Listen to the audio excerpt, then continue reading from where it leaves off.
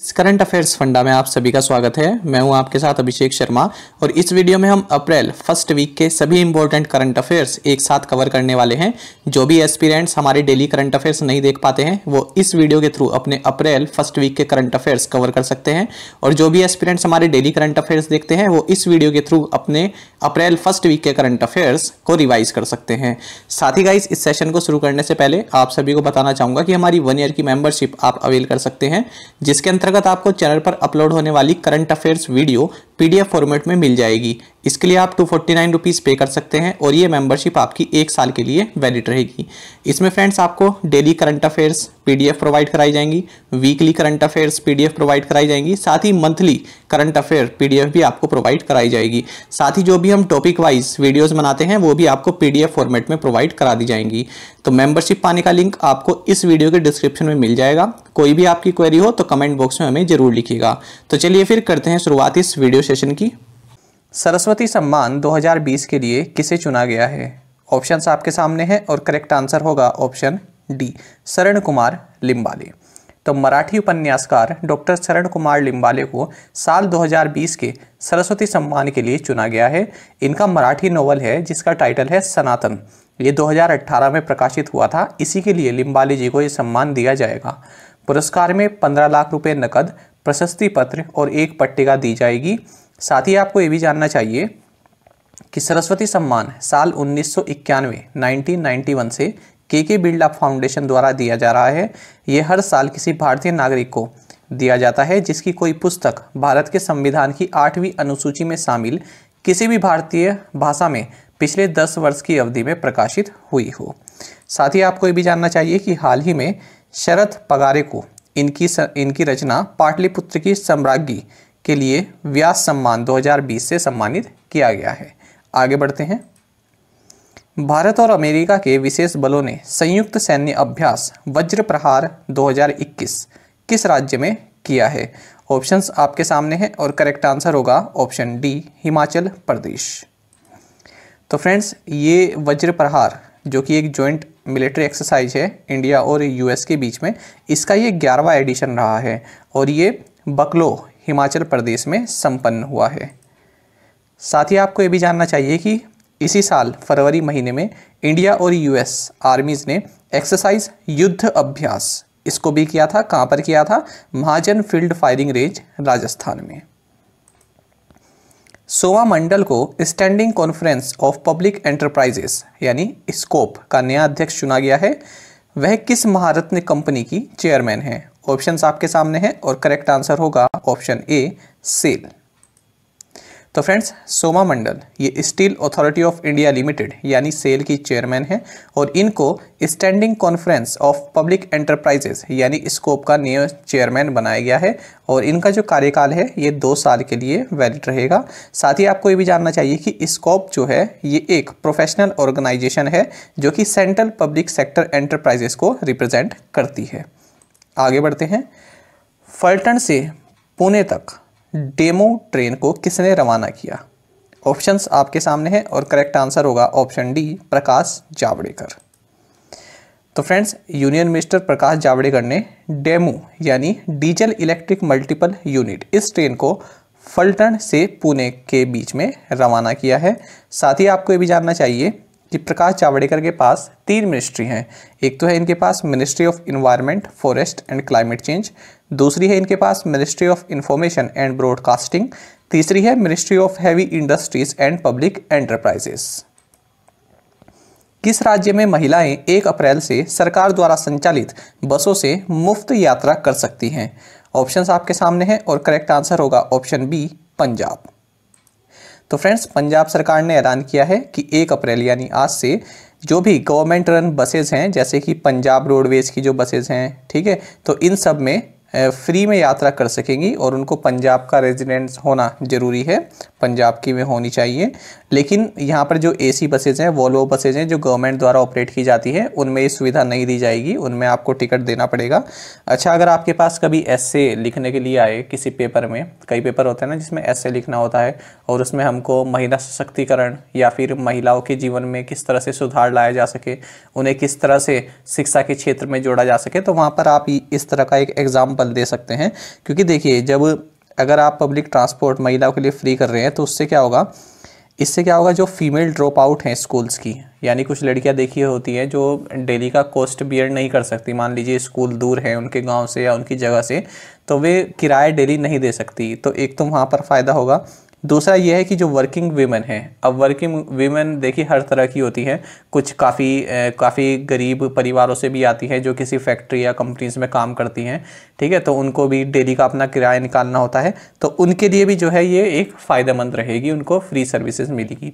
तो इस तरह से आप इसको एक वुमेन एम्पावरमेंट की तरह भी इसको आप रिप्रेजेंट कर सकते हैं। अगर आपको पास कभी किसी ऐसे में लिखना है तो ये एग्ज़ाम्पल आप दे सकते हैं। या अपनी तरफ़ से सुझाव के रूप में इसको दे सकते हैं। लेकिन इसके लिए जो है पंजाब सरकार को अपना जो इंफ्रास्ट्रक्चर है, उसको काफ़ी मज़बूत करना होगा, जो भी ट्रांसपोर्ट इंफ्रास्ट्रक्चर है, और कई बसेस को जोड़ना भी होगा। आगे बढ़ते हैं। छत्रसाल कन्वेंशन सेंटर का उद्घाटन किस स्थल पर किया गया है? तो ये किया गया है खजुराव ग्रुप ऑफ़ मोन्यूमेंट्स में।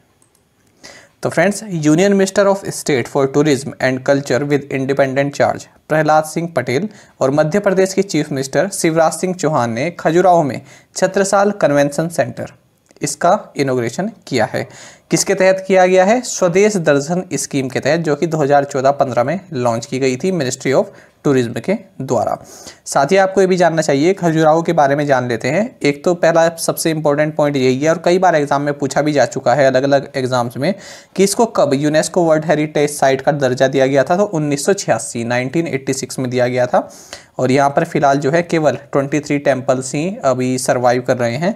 और इसमें जो आर्किटेक्चर स्टाइल है, ये नगारा स्टाइल आर्किटेक्चर है यहाँ पर और इसको चंदेला डायनेस्टी द्वारा बनाया गया था। भारत ने किस देश को दो मोबाइल हार्बर क्रेन की आपूर्ति की है, यानी सप्लाई किया है? तो ये किया है भारत ने ईरान को। तो फ्रेंड्स, ईरान को किसके लिए किया गया है? देखिए, जो ईरान में शहीद बेहस्ती पोर्ट, ठीक है, जिसको आप छाबहार पोर्ट भी कहते हैं तो इसके डेवलपमेंट प्रोजेक्ट के लिए भारत ने ईरान को दो मोबाइल हार्बर क्रेन्स जो हैं प्रोवाइड कराई हैं। साथ ही फ्रेंड्स, ईरान की जो यहाँ पर ये मेजर पोर्ट्स लिखे हुए हैं, ये आपके एग्ज़ाम के लिए काफ़ी इंपॉर्टेंट है क्योंकि इनकी लोकेशन भी पूछ ली जाती है। जिस तरह से आपके एग्ज़ाम में चाहे बैंक का एग्ज़ाम हो, वहाँ पर भी इस तरह से जैसे कैपिटल करेंसी पूछ ली जाती है, इसी तरह से मेजर पोर्ट्स भी पूछ लिए जाते हैं, ठीक है?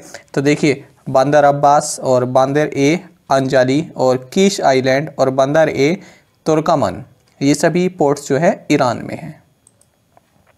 ईरान के बारे में अगर और जानकारी लें तो यहाँ के प्रेसिडेंट हैं हसन रूहानी, सुप्रीम लीडर हैं अली खमेनई कैपिटल है तेहरान, करेंसी है ईरानियन रियल। और साथ ही आपको ये भी जानना चाहिए कि हाल ही में भारत ने ईरान को जो है मेलेथियम ULV पेस्टिसाइड, ये भी भारत ने ईरान को सप्लाई किए हैं। तो दो क्वेश्चन आपके यहाँ से बन गए। ये हमने एम के रूप में भी कवर किया था तो यहाँ पर आपका रिविज़न भी हो गया है। आगे बढ़ते हैं। डॉक्टर हर्षवर्धन ने हाल ही में नेट हेल्थ वार्षिक शिखर सम्मेलन के किस संस्करण को संबोधित किया है? ऑप्शन आपके सामने हैं और करेक्ट आंसर होगा ऑप्शन सी, सेवंथ।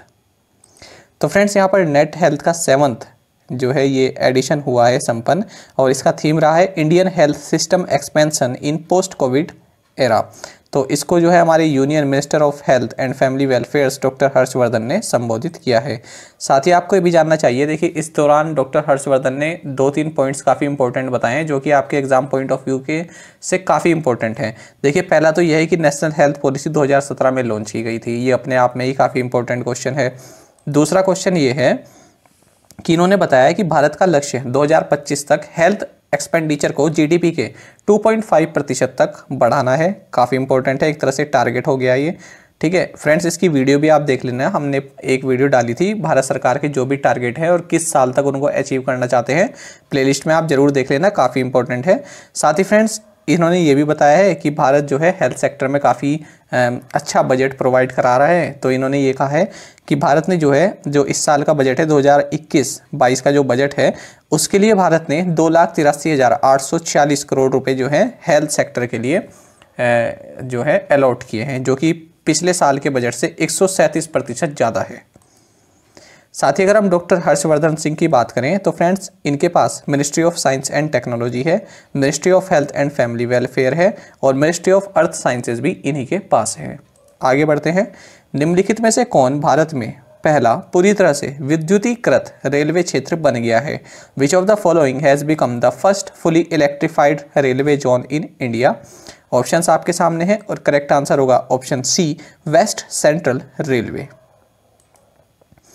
तो फ्रेंड्स वेस्ट सेंट्रल रेलवे ने कोटा चित्तौड़गढ़ रेलवे सेक्शन तो इसको जो है पूरी तरह से इलेक्ट्रिफिकेशन का काम यहाँ पर पूरा हो गया है और इसी के साथ west central railways has become the first fully electrified railway zone in the country साथ ही आपको ये भी जानना चाहिए कि वेस्ट सेंट्रल रेलवे इसका हेडक्वार्टर्स मध्य मध्य प्रदेश के जबलपुर में है। कौन से श्रीलंकाई अंतर्राष्ट्रीय क्रिकेटर पेशेवर मैच में एक ओवर में छः छक्के मारने वाले अपने देश के पहले खिलाड़ी बन गए हैं?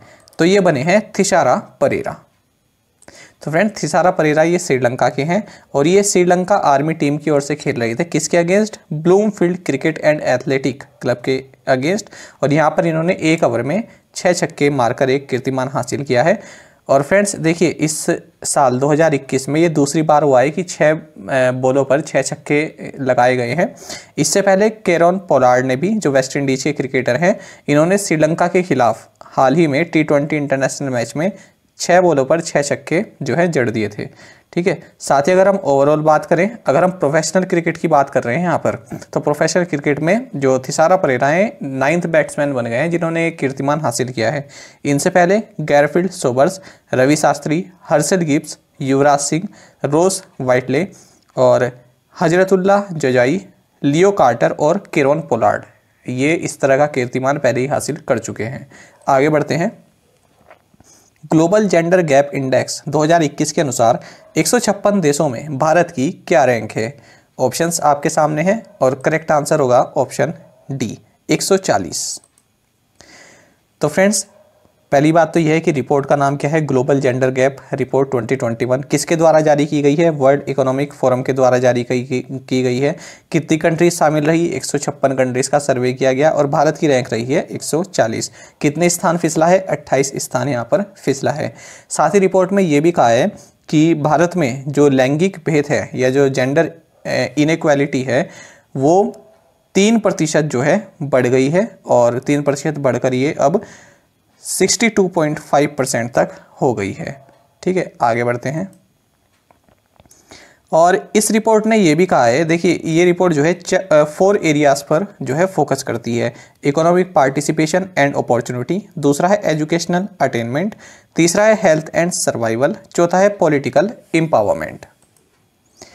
साथ ही अगर हम बात करें पिछले साल की तो 2020 में भारत की इसमें रैंक थी 112 साथ ही फ्रेंड्स इसमें यह भी कहा गया है कि जो भारत में अमूमन ये देखा गया है कि सेम काम के लिए जो आदमियों को मैन मैंस को जो सैलरी मिलती है तो उसका वन फिफ्थ जो है वेमन को प्रोवाइड कराई जाती है इनकम साथ ही साउथ एशिया में भारत जो है तीसरे नंबर पर सबसे ख़राब स्थिति है और इससे ख़राब स्थिति पाकिस्तान की है, जिसकी एक सौ रैंक है और अफ़गानिस्तान की है सबसे लास्ट रैंक एक सौ छप्पन। साथ ही फ्रेंड्स इसमें जो सबसे अच्छी जो कंट्री है, जिसमें की जेंडर इक्वलिटी जो है काफ़ी मज़बूत है, ये है आइसलैंड इसके बाद है Finland Norway New Zealand Rwanda Sweden Ireland and Switzerland तो फ्रेंड्स ये सभी कंट्री जो हैं काफ़ी अच्छा परफॉर्म किया है। तो ये सभी पॉइंट जो हैं आपके एग्ज़ाम पॉइंट ऑफ़ व्यू से इम्पोर्टेंट है, ठीक है? खास करके एक तो अफ़गानिस्तान दूसरा ये कि किसके द्वारा लॉन्च की गई है रिपोर्ट का नाम क्या है, कितनी कंट्रीज़ शामिल रही, भारत की क्या रैंक रही है, ठीक है? और पिछले साल से भारत की रैंक कितनी जो है नीचे गिरी है, ये भी आपको जानना चाहिए। साथ ही ये पॉइंट भी आप जानना चाहिए the report stated that India home to 0.65 billion women has widened its gender gap from almost 66.8 percent one year ago to 62.5 percent this year आगे बढ़ते हैं। विश्व बैंक के अनुसार वित्त वर्ष 2021-22 के लिए भारत की अनुमानित जीडीपी वृद्धि दर क्या है? ऑप्शंस आपके सामने हैं और करेक्ट आंसर होगा ऑप्शन सी 10.1 परसेंट। तो फ्रेंड्स, इससे पहले वर्ल्ड बैंक ने कहा था कि 5.4 परसेंट रहेगी, लेकिन अब वर्ल्ड बैंक कह रहा है कि फ़िज़िकल ईयर 2020 टू में 10.1 परसेंट रहेगी। अच्छा वर्ल्ड बैंक की इस रिपोर्ट का नाम क्या है? South Asia economic focus spring update report साथ ही फ्रेंड्स वर्ल्ड बैंक ने ये भी कहा है क्योंकि कोविड 19 का जो एरा चल रहा है तो कभी जैसे कि लॉकडाउन भी अब लग रहा है है ना? कई कई राज्यों ने जो है कुछ पार्ट्स में लॉकडाउन लगा दिया है। तो इस तरह से ही कई कंट्रीज़ में भी यही सीन चल रहा है। तो इन्होंने कहा है कि इंडिया में जो है हम एक रेंज आपको प्रोवाइड करा रहे हैं तो इसी बीच में जो है जीडीपी ये ग्रो करेगी। 7.5 परसेंट से 12.5 परसेंट के बीच में ये रेंज वर्ल्ड बैंक ने प्रोवाइड कराई है। हाल ही में एक नई प्रजाति, जिसका नाम नाकाडूबा सिंथला रामास्वामी सदाशिवन है, ये पाई गई है। यह निम्नलिखित में से किससे संबंधित है? तो फ्रेंड्स ये बटरफ्लाई की जो है एक स्पीसीज है। ठीक है? तो ये हाल ही में पाई गई है। आगे बढ़ते हैं। आरबीआई के पूर्व डिप्टी गवर्नर का नाम बताइए, जिनका हाल ही में निधन हो गया। ऑप्शंस आपके सामने हैं और करेक्ट आंसर होगा option D, K C Chakraborty. और फ्रेंड्स, इनके अलावा जो ये तीन ऑप्शन है, ये इनका भी जो है हाल ही में निधन हो गया है। तो ऐसा नहीं है कि किसी लिविंग बीइंग को हमने यहाँ पर ऑप्शन में डाला है, ठीक है? ये भी हाल ही में इनका भी निधन हो गया है और ये सभी हमने कवर भी किए हुए हैं। साथ ही जब आरबीआई डिप्टी गवर्नर की बात हो रही है तो आरबीआई का बोर्ड ऑफ़ डायरेक्टर्स भी देख लेते हैं। तो यहाँ पर गवर्नर हैं आरबीआई की शक्तिकांत दास और डिप्टी गवर्नर कौन कौन है? बी पी कनुगो एम के जैन एम डी पात्रा और एम आर राव। हाल ही में केंद्र सरकार ने सार्वजनिक क्षेत्र के चार बैंकों, यानी पब्लिक सेक्टर बैंक्स में कितनी पूंजी डाली है? यानी कितनी पूंजी, कितनी कैपिटल इन्फ्यूज़ की है? ऑप्शंस आपके सामने हैं और करेक्ट आंसर होगा ऑप्शन डी, चौदह हज़ार पाँच सौ करोड़ रुपए। तो देखिए, सेंट्रल बैंक ऑफ़ इंडिया में अड़तालीस सौ करोड़ रुपए डाले हैं और इंडियन ओवरसीज़ बैंक में इकतालीस सौ, बैंक ऑफ़ इंडिया में तीन हज़ार करोड़ रुपए और यूको बैंक में छब्बीस सौ करोड़ रुपए सेंट्रल गवर्नमेंट ने इन्फ्यूज़ किए हैं। देखिए, सेंट्रल गवर्नमेंट ने जो है 2021-22 के लिए टारगेट किया है कि बीस हज़ार करोड़ रुपए हम जो है इन बैंक्स में डालेंगे। किन बैंक्स में? वो बैंक जो कि आरबीआई के पीसीए फ्रेमवर्क, यानी प्रॉम्प्ट करेक्टिव एक्शन इस फ्रेमवर्क के तहत आते हैं। तो अब ये पूंजी डाले जाने से इन बैंकों को, जो आरबीआई का पीसीए फ्रेमवर्क है, इससे बाहर आने में मदद मिलेगी। और ये पूंजी बिना ब्याज वाले बॉन्ड यानी रिकैपिटलाइजेशन बॉन्ड के ज़रिए डाली गई है। तो फ्रेंड देखिए, इन तीनों को मिलाकर तो चौदह हज़ार पाँच सौ करोड़ रुपए हुए। साथ ही इससे पहले गवर्नमेंट ने पंजाब एंड सिंध बैंक में पचपन सौ करोड़ रुपए इन्फ्यूज़ किए थे। तो टोटल मिलाकर दो, बीस हज़ार करोड़ रुपए यहाँ पर गवर्नमेंट ने इन्फ्यूज़ कर दिए हैं। साथ ही आपको ये भी जानना चाहिए इंडियन ओवरसीज़ बैंक इसके एम डी एंड सी हैं पार्थ प्रतिम सेन गुप्ता हेडक्वार्टर्स है चेन्नई में बैंक ऑफ़ इंडिया इसके एम डी एंड सी हैं अतनु कुमार दास और हेडक्वार्टर्स है मुंबई में सेंट्रल बैंक ऑफ़ इंडिया के एम डी एंड सीईओ हैं मातम वेंकटा राव और हेडक्वार्टर्स है मुंबई में, साथ ही यूको बैंक इसके एम डी एंड सी हैं अतुल कुमार गोयल और हेडक्वार्टर्स है कोलकाता में। तो इन चारों बैंकों में जो है गवर्नमेंट ऑफ़ इंडिया ने हाल ही में कैपिटल इन्फ्यूज़ की है। आगे बढ़ते हैं। निम्नलिखित में से कौन सा देश फीफा महिला विश्व कप 2023 की मेजबानी करेगा? ऑप्शंस आपके सामने हैं और करेक्ट आंसर होगा ऑप्शन डी, यानी both B and C Australia और न्यूजीलैंड दोनों ही फीफा महिला विश्व कप 2023 की मेजबानी करेंगे। जहाँ इस विश्व कप का जो पहला मैच है, ये ऑकलैंड, न्यूजीलैंड में खेला जाएगा। वहीं जो फाइनल है, ये ऑस्ट्रेलिया के सिडनी में खेला जाएगा। साथ ही आपको ये भी जानना चाहिए कि 2022 फीफा मेंस वर्ल्ड कप ये कतर में होगा। और अगर हम फीफा की बात करें तो फीफा यानी international federation of association football इसका हेडक्वार्टर्स ज्यूरिक स्विट्ज़रलैंड में है और इसके जो प्रेसिडेंट हैं, इनका नाम है जियानी इन्फेंटिनो साथ ही फ्रेंड्स ये जो वीमेंस वर्ल्ड कप है, ये नाइन सिटीज़ में खेला जाएगा। आगे बढ़ते हैं। वर्ष 2019 के लिए प्रतिष्ठित इक्यावनवे दादा साहब फाल्के पुरस्कार से किसे सम्मानित किया जाएगा? ऑप्शंस आपके सामने हैं और करेक्ट आंसर होगा ऑप्शन ए, रजनीकांत। तो फ्रेंड्स, ये इक्यावनवे दादा साहब फाल्के पुरस्कार हैं जो 2019 के लिए दिए जा रहे हैं।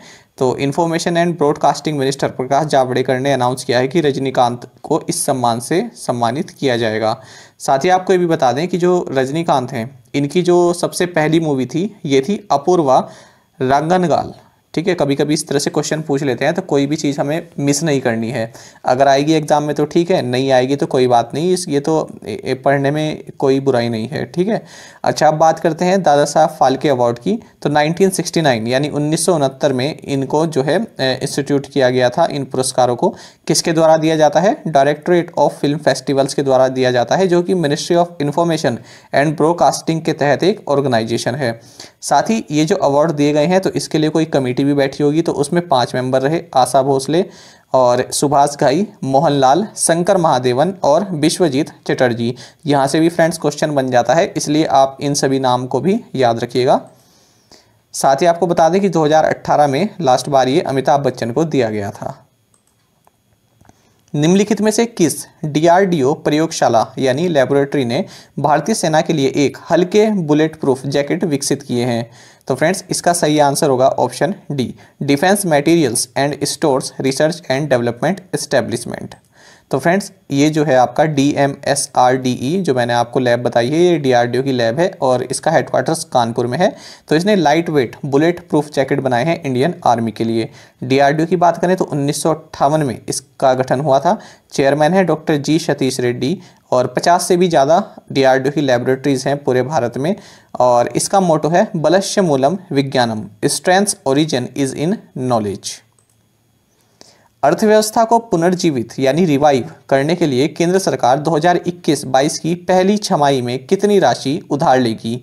ऑप्शंस आपके सामने हैं और करेक्ट आंसर होगा option D 7.24 lakh crore rupees तो देखिए फ्रेंड्स जो अब हमारा जो ये 2021-22 का जो फ़िज़िकल ईयर है तो इसमें जो गवर्नमेंट ने कहा है कि जो पहला हमारा जो ये क्वार्टर रहने वाला है हाफ़ क्वार्टर इसमें 7.24 लाख करोड़ रुपए की हम बोरोइंग करेंगे, यानी जो है उधार लेंगे। अच्छा अब इसमें ये कहा है कि according to the budget for 2021-22 the government's gross borrowing was estimated at rupees 12.05 lakh crore rupees देखिए, एक तो होता है नेट बोरोइंग ठीक है? नेट बोरोइंग मतलब जितना उधार सरकार मार्केट से लेगी। एक होता है ग्रोस बोरोइंग ग्रोस बोरोइंग में क्या होता है? Net borrowing plus repayment of previous loan ठीक है? ग्रोस ग्रोस बोरोइंग में क्या होता है? रीपेमेंट्स ऑफ़ पास्ट लोन जो आपने पहले के लोन लिए हैं, उनका भी तो रीपेमेंट करना है। तो इनमें अगर आप नेट बोरोइंग को जोड़ देंगे तो ये बन जाएगी आपकी ग्रोस बोरोइंग तो ग्रोस बोरोइंग कितनी है सरकार की? Rupees twelve point zero five lakh crore rupees और गवर्नमेंट ने कहा है कि अभी फ़िलहाल के लिए हम जो है seven point two four lakh crore rupees जो हैं बोरो करने वाले हैं फ़र्स्ट हाफ़ जो 2021 2022 का जो ये फ़िज़िकल ईयर है, इसका फ़र्स्ट हाफ़ जो है, इसके लिए हम 7.24 लाख करोड़ रुपीस लेंगे और पूरे साल के लिए हमारी बोरोइंग रहने वाली है 12.05 लाख करोड़ रुपीस। साथ ही ग्रोस बोरिंग भी मैंने आपको बता दी है तो ये सभी आंकड़े काफ़ी इंपॉर्टेंट होते हैं। आगे भी देख लेते हैं। अच्छा अब गवर्नमेंट जो है मार्केट से पैसा उठाती है तो किसके थ्रू उठाती है? जो इसकी डेटेड सिक्योरिटीज़ और ट्रेजरी बिल्स होते हैं, इसके लिए उठाती है। क्यों उठाती है? क्योंकि गवर्नमेंट के पास जो है फ़िज़िकल डिफिसिट होती है। फ़िज़िकल डिफिसिट क्या होता है? जो भी गवर्नमेंट के एक्सपेंडिचर हैं, अगर आप उनमें से जो गवर्नमेंट का रेवेन्यू है, उसको आप अगर सब्सट्रैक्ट कर देंगे तो फ़िज़िकल डिफिसिट जो है आपकी निकल जाती है। ठीक है? इसको as a percentage of GDP के रूप में कैलकुलेट किया जाता है। ठीक है? यानी जब गवर्नमेंट का एक्सपेंडिचर ज़्यादा हो और गवर्नमेंट का रेवेन्यू कम हो तो उसमें जो अंतर आता है उसे फ़िज़िकल डिफिजिट कहते हैं। साथ ही फ्रेंड्स आपको ये भी जानना चाहिए कि फ़िज़िकल ईयर 22 के लिए जो बजट में कहा गया है कि फ़िज़िकल डिफिसिट जो है, ये जीडीपी की 6.8 परसेंट जो है आकी गई है, इतनी रहनी चाहिए। जबकि जो जो हमारा पिछला, अब जो फ़िज़िकल ईयर हमारा समाप्त हुआ है फ़िज़िकल ईयर 21 इसमें जो है हमारा 9.5 परसेंट रहा था। क्या?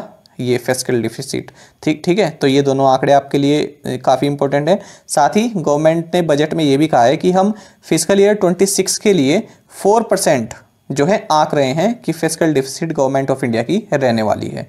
ठीक है फ्रेंड्स तो एक ये आपकी ग्रोस बोराइंग और एक ये आपका कि ग्रोस बोरिंग की डेफिनेशन मैंने आपको बता दी। साथ ही कितना टारगेट गवर्नमेंट ने रखा है कि हम इतना लेंगे। साथ ही फ्रेंड्स ये कि जो हमारा फ़िज़िकल ईयर ट्वेंटी टू है, इसमें जो है फ़िज़िकल डिफिसिट का टारगेट कितना रखा हुआ है। और ट्वेंटी सिक्स तक के लिए कितना टारगेट यहाँ पर गवर्नमेंट ऑफ़ इंडिया ने रखा हुआ है? साथ ही फ्रेंड्स गवर्नमेंट ऑफ़ इंडिया ने आरबीआई को ये कहा है कि आप जो रिटेल इन्फ्लेशन टारगेट है, इसको four percent plus minus two percent बनाए रखिए कब तक? इकतीस मार्च दो हज़ार छब्बीस तक। ठीक है? तो ये भी आपके लिए, ये सभी पॉइंट्स आपके लिए काफ़ी इंपॉर्टेंट है, इनको आप नोट कर लीजिएगा। आगे बढ़ते हैं। यूनियन बैंक और निम्नलिखित में से किसने सह ब्रांडेड संपर्क रहित RuPay card unique carbon card launch किया है। तो देखिए यूनिक कार्बन कार्ड तो ये यूनियन बैंक ऑफ़ इंडिया ने किसके साथ मिलकर लॉन्च किया है? ये एक कॉन्टैक्टलेस रुपए कार्ड है। तो फ्रेंड्स, ये किया है इन्होंने एचपीसीएल के साथ मिलकर।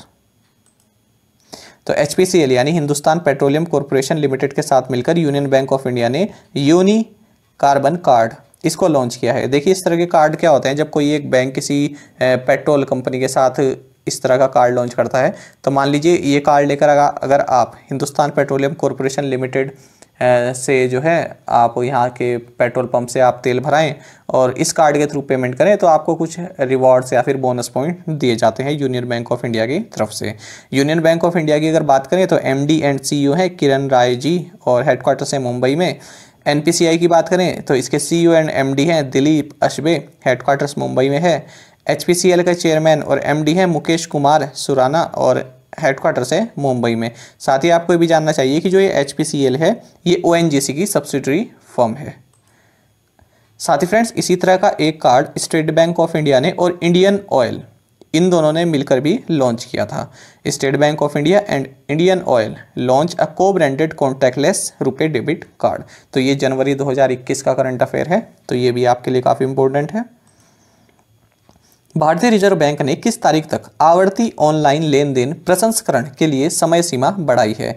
इंग्लिश में देख लेते हैं, reserve bank of India extended the timeline for processing recurring online transaction by which date options आपके सामने हैं और करेक्ट आंसर होगा ऑप्शन सी, सितंबर 30 2021 समझेंगे इसका मतलब? फ्रेंड्स, आप में से कई एस्पिरेंट्स कमेंट में ये कहते हैं कि आप जो है, इंग्लिश में क्वेश्चन पढ़ा कीजिए। तो फ्रेंड्स पहले हम इंग्लिश में ही पढ़ा करते थे, फिर कुछ एस्पिरेंट्स कहने लगे कि हिंदी में क्वेश्चन पढ़िए। तो फ्रेंड्स ये हम लोगों के लिए एक डायलमा हो जाता है कि किसमें पढ़ा जाए। तो फ्रेंड्स अगर हम हिंदी में पढ़ते हैं, देखिए इंग्लिश में तो लिखा हुआ ही है है ना? तो देखिए, थोड़ा एक्स्ट्रा प्रयास तो आपको भी अपनी ओर से लगाना होगा। वीडियो को पॉज कर लीजिए इंग्लिश में पढ़ लीजिए, ठीक है? अगर आपको हिंदी में दिक्कत है तो इंग्लिश में पढ़ लीजिए और एक्सप्लेनेशन भी आपको हिंदी में इंग्लिश में दी गई है। ठीक है? तो एक तरह से आप अपने आप से भी एक्स्ट्रा अगर आप एफर्ट लगाएँगे तो कोई दिक्कत नहीं आएगी। और जो भी हम एक्सप्लेन करते हैं, वही लिखा रहता है यहाँ पर, ठीक है? तो इंग्लिश मीडियम वालों को मेरे हिसाब से कोई दिक्कत आनी नहीं चाहिए, क्योंकि दोनों का यहाँ पर ध्यान रखा जाता है। अच्छा अब बात करते हैं इस क्वेश्चन की। देखिए reserve bank of India extended the timeline for processing recurring online transactions by six month to September thirty twenty twenty one देखिए फ्रेंड्स ये क्या, इसका क्या मतलब है? रिकरिंग ट्रांजेक्शन्स देखिए कभी कभी ऐसा होता है ना, जब आप, मान लीजिए पेटीएम से आपने कोई बिजली का बिल आपने जो है, भुगतान किया तो वहाँ पर फिर पेटीएम आपको कहता है कि आगे आने वाले बिल, बिल्स अगर आप भरना चाहते हैं तो ऑटोमेटिक मोड पर उसको कर दीजिए। यानी कि अपने आप जैसे ही बिल वहाँ पर रजिस्टर होगा और आपका जो है बिल कट जाएगा। ठीक है? आपको कुछ भी करने की ज़रूरत नहीं है ऑटोमेटिक वे आपके अकाउंट से वो बिल जो है उसका भुगतान कर देंगे। तो आरबीआई ने कहा है कि अब इस तरह से नहीं होना चाहिए। अब जो है, इस तरह का अगर बिल कोई होगा तो एडिशनल फैक्टर ऑफ़ ऑथेंटिकेशन ये अप्लाई करना होगा, जो भी इस तरह की ऐप्स हैं, ठीक है, उनको।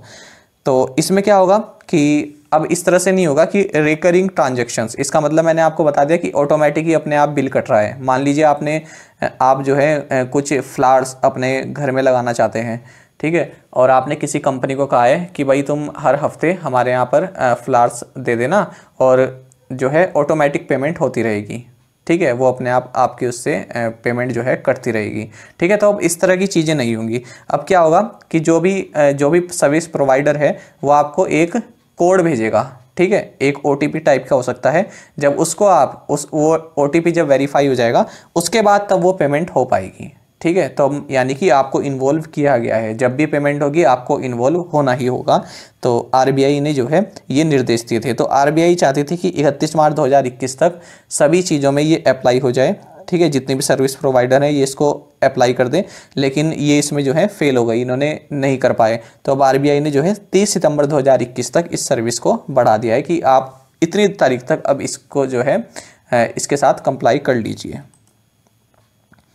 साथ ही फ्रेंड्स, हाल हाल ही में आरबीआई ने क्या किया था कि जो ये रिकरिंग ट्रांजेक्शन्स हैं तो इसकी लिमिट भी बढ़ा दी थी। दो हज़ार रुपये से पाँच हज़ार रुपये बढ़ा दी गई थी, एक जनवरी 2021 को। यहाँ से भी एक क्वेश्चन बन सकता है आपके लिए। R B I enhanced a limit for contactless card transaction and e mandates for recurring transaction through cards from rupees two thousand to rupees five thousand Vinoba Seva Pratishthan के सहयोग से आयुष मंत्रालय ने आयुर्वेद पर्व किस शहर में आयोजित किया? ऑप्शंस आपके सामने हैं और करेक्ट आंसर होगा ऑप्शन डी भुवनेश्वर में। तो फ्रेंड्स भुवनेश्वर में ये आयुर्वेद पर्व, इसको जो है होस्ट किया गया है किसके द्वारा? विनोबा सेवा प्रतिष्ठान और मिनिस्ट्री ऑफ़ आयुष के द्वारा। साथ ही फ्रेंड्स मैं आपको पहले ही बता चुका हूँ कि आयुष का मतलब होता है आयुर्वेदा, योगा एंड नेचुरोपैथी यूनानी, सिद्धा एंड होम्योपैथी। साथ ही फ्रेंड्स कुछ इंस्टीट्यूट्स हैं हमारे भारत में जो कि आपके एग्ज़ाम के लिए काफ़ी इंपॉर्टेंट है और इसी मिनिस्ट्री ऑफ़ आयुष से जुड़े हुए हैं। देख लेते हैं नेशनल इंस्टीट्यूट ऑफ़ होम्योपैथी ये कोलकाता में है। नेशनल इंस्टीट्यूट ऑफ़ सिद्धा ये चेन्नई में है। All India institute of Ayurveda ये दिल्ली में है। नेशनल इंस्टीट्यूट ऑफ़ आयुर्वेदा ये जयपुर में है। नेशनल इंस्टीट्यूट ऑफ़ नेचुरोपैथी ये पुणे में है। National institute of Unani medicine ये बेंगलुरु में है। North eastern institute of Ayurveda and homeopathy ये शिलोंग में है। साथ ही national Ayurveda research institute of for Panchakarma ये चेरुथ्रुति केरला में है। तो फ्रेंड्स यहाँ से भी क्वेश्चन एक बन जाता है। इन सभी को आप नोट डाउन कर लीजिएगा, चाहे स्क्रीनशॉट ले लीजिएगा। आगे बढ़ते हैं। निम्नलिखित में से कौन लीड ज़ीरो कार्बन प्रमाणन प्राप्त करने वाला दुनिया का पहला होटल बन गया है? ऑप्शंस आपके सामने हैं और करेक्ट आंसर होगा option B ITC Windsor Bengaluru तो फ्रेंड्स आईटीसी विंडसोर बेंगलुरु ये पहला होटल बन गया है पूरे विश्व का, जिसने कि लीड ज़ीरो कार्बन सर्टिफिकेशन प्राप्त किया है। ठीक है, और किसके द्वारा दिया गया है? यूएसजीबीसी यानी united states green building council के द्वारा। तो किस लिए दिया गया है? देखिए, जो I T C ITC Windsor है तो यहाँ पर जो है wind turbine wind turbine generator के थ्रू ये जो है अपनी पावर इस्तेमाल करते हैं। यहाँ पर जो भी पावर सप्लाई है, ये विंड टर्बाइन जनरेटर के द्वारा प्रोवाइड कराई जा रही है। साथ ही फ्रेंड्स आपको ये भी जानना चाहिए लीड इसकी फुल फॉर्म होती है leadership in energy and environmental design कई सारे एग्ज़ाम में पूछी जा चुकी है इसकी फुल फॉर्म तो इसको आप जो है ज़रूर नोट डाउन कर लीजिएगा। तो ये जो है ग्रीन बिल्डिंग रेटिंग सिस्टम है।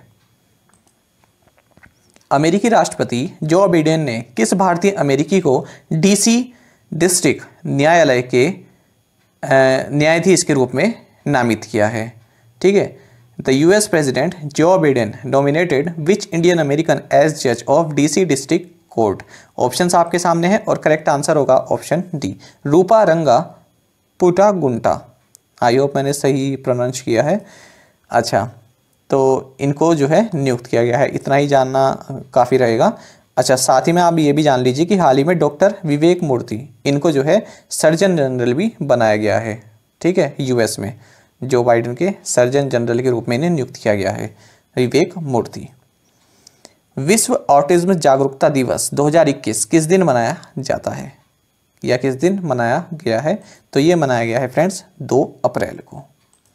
और इसका थीम रहा है, इस साल inclusion in the workplace challenges and opportunities in a post pandemic world देखिए, जो ये ऑटिज्म है, ये एक तरह की, इस तरह की कंडीशन है जिसमें बच्चों का दिमाग ठीक तरह से जो है डेवलप नहीं हो पाता है। तो इसमें जो बच्चे हैं, ये दूसरों से आई कांटेक्ट नहीं कर पाते हैं, आवाज़ सुनने के बाद भी रिएक्ट नहीं करते हैं, भाषा सीखने, समझने में इन्हें दिक्कत होती है, ठीक है? तो ये सभी लक्षण होते हैं इसके। आगे बढ़ते हैं। नीलम सहानी को किस राज्य का नया राज्य चुनाव आयुक्त नियुक्त किया गया है? तो ये किया गया है आंध्र प्रदेश का। आंध्र प्रदेश की जो है इनको स्टेट इलेक्शन कमिश्नर नियुक्त की गई है।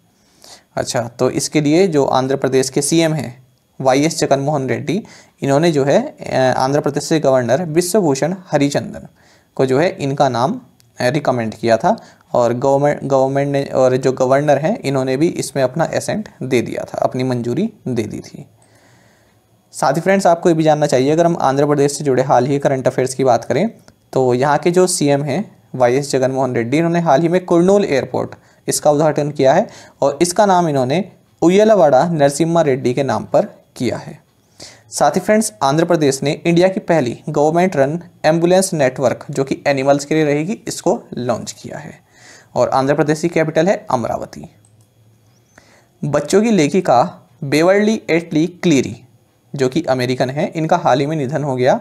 निम्नलिखित में से कौन सी बच्चों की किताब उन्होंने नहीं लिखी है?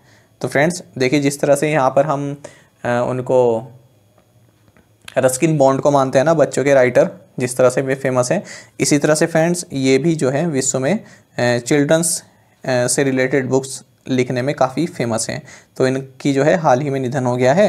तो हमें बताना है कि इनकी, इनमें से कौन सी बुक नहीं है, ठीक है? तो फ्रेंड जो ये पहले वाली है शार्लोट्स वेब ये जो है इनकी बुक नहीं है, बाकी की तीन इनकी बुक हैं, ठीक है? तो बेसिकली क्वेश्चन इसी तरह से बन सकता है कि जो ये जो आपकी ये बेवर्ली एटली क्लीरी हैं, ठीक है, ये कौन थी? तो ये अमेरिकन ऑथर थी। कर्मचारी राज्य बीमा निगम, यानी employees state insurance corporation ESIC के डायरेक्टर जनरल का कार्यभार किसने संभाला है? ऑप्शंस आपके सामने हैं और करेक्ट आंसर होगा option C Mukhmeet S Bhatia. तो इन्हें ईएसआईसी का महानिदेशक जो है बनाया गया है। साथ ही फ्रेंड्स आपको ये भी जानना चाहिए कि जो एम्प्लॉयज़ स्टेट इंश्योरेंस कॉरपोरेशन है, यानी ईएसआईसी e ये ministry of labour and employment के अंतर्गत कार्य करती है और इसका हेडक्वार्टर्स न्यू दिल्ली में है। साथ ही फ्रेंड्स अगर हम ईएसआईसी e के बारे में और जानकारी लें तो इसकी स्थापना 24 फरवरी उन्नीस सौ बावन को हुई थी और एम्प्लॉयज़ स्टेट इंश्योरेंस एक्ट के तहत ईएसआईसी एम्प्लॉयज़ स्टेट इंश्योरेंस को मैनेज करती है। तो एक्ट कौन सा है? एम्प्लॉयज़ स्टेट इंश्योरेंस एक्ट 1948 इसके तहत एम्प्लॉयज़ स्टेट इंश्योरेंस को मैनेज करती है। आगे बढ़ते हैं। एल टी टेक्नोलॉजी सर्विसेज़ के सीईओ और एमडी के रूप में किसने पदभार संभाला? तो ऑप्शंस आपके सामने हैं और करेक्ट आंसर होगा ऑप्शन ए अमित चड्ढा ने साथ ही फ्रेंड्स आपको ये भी जानना चाहिए कि L N T technology services इसका हेडक्वार्टर्स वडोदरा, गुजरात में है।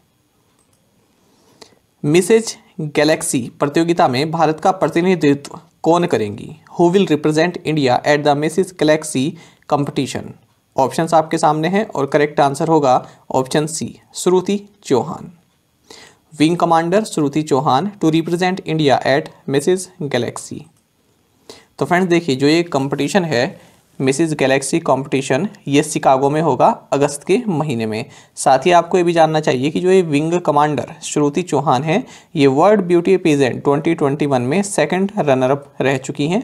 साथ ही ने हाल ही में महाराष्ट्र विमेन अचीवर्स अवार्ड मिला था और आइकॉनिक विमेन अवार्ड भी इनको दिया गया था एसटीपी इंटरनेशनल के द्वारा।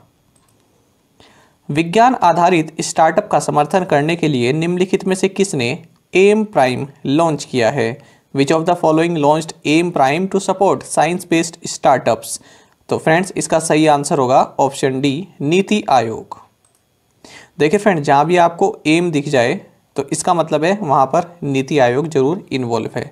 ठीक है एम का मतलब है अटल इनोवेशन मिशन अच्छा अब बात करते हैं क्वेश्चन की। तो देखिए प्राइम का मतलब है programme for researchers on innovation market readiness and entrepreneurship तो फ्रेंड्स ये प्रोग्राम जो है उन स्टार्टअप्स के लिए लॉन्च किया गया है जो कि साइंस बेस्ड कोई इनोवेशन अपनी कर रहे हैं, कोई प्रोग्राम अपना जो है उसको चला रहे हैं। ठीक है तो उनको प्रमोट करना जो है इस एम प्राइम का मकसद है।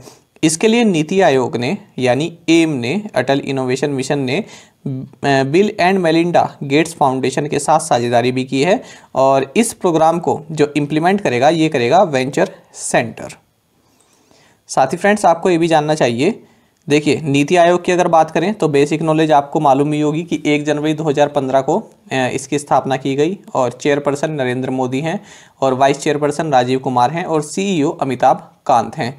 तो अब आप ये देखिए कि नीति आयोग के कुछ अगर हम दो इम्पोर्टेंट प्रोग्राम देखें, किस ये दोनों ही नीति आयोग के द्वारा चलाए गए हैं। एक है समावेश, दूसरा है इंडिया नॉलेज हब तो डायरेक्ट क्वेश्चन बन जाता है इंडिया नॉलेज हब ये किसका एक फ्लैगशिप प्रोग्राम है? तो चार ऑप्शन आपको दे दिए जाएँगे और पूछ ले जाएगा। तो आंसर होगा नीति आयोग।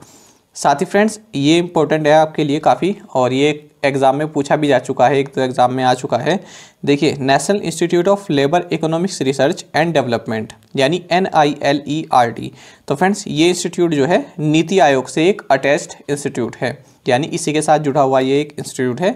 साथ ही development monitoring and evaluation office यानी डी एम ई ओ ये ऑफ़िस भी जो है नीति आयोग से एक अटैच्ड ऑफ़िस है। तो पूछ ले जाते हैं कि ये किस आ, किस एजेंसी से जुड़े हुए हैं दोनों इंस्टीट्यूट? तो उस अवस्था में भी जो इसका आंसर होगा, वो होगा नीति आयोग। ठीक है, चार ऑर्गेनाइजेशन आपको दी जा सकती हैं, पूछा जा सकता है कि किससे जुड़ा हुआ है तो आंसर होगा नीति आयोग। साथ ही एम का मैंने आपको मतलब बता दिया, Atal innovation mission.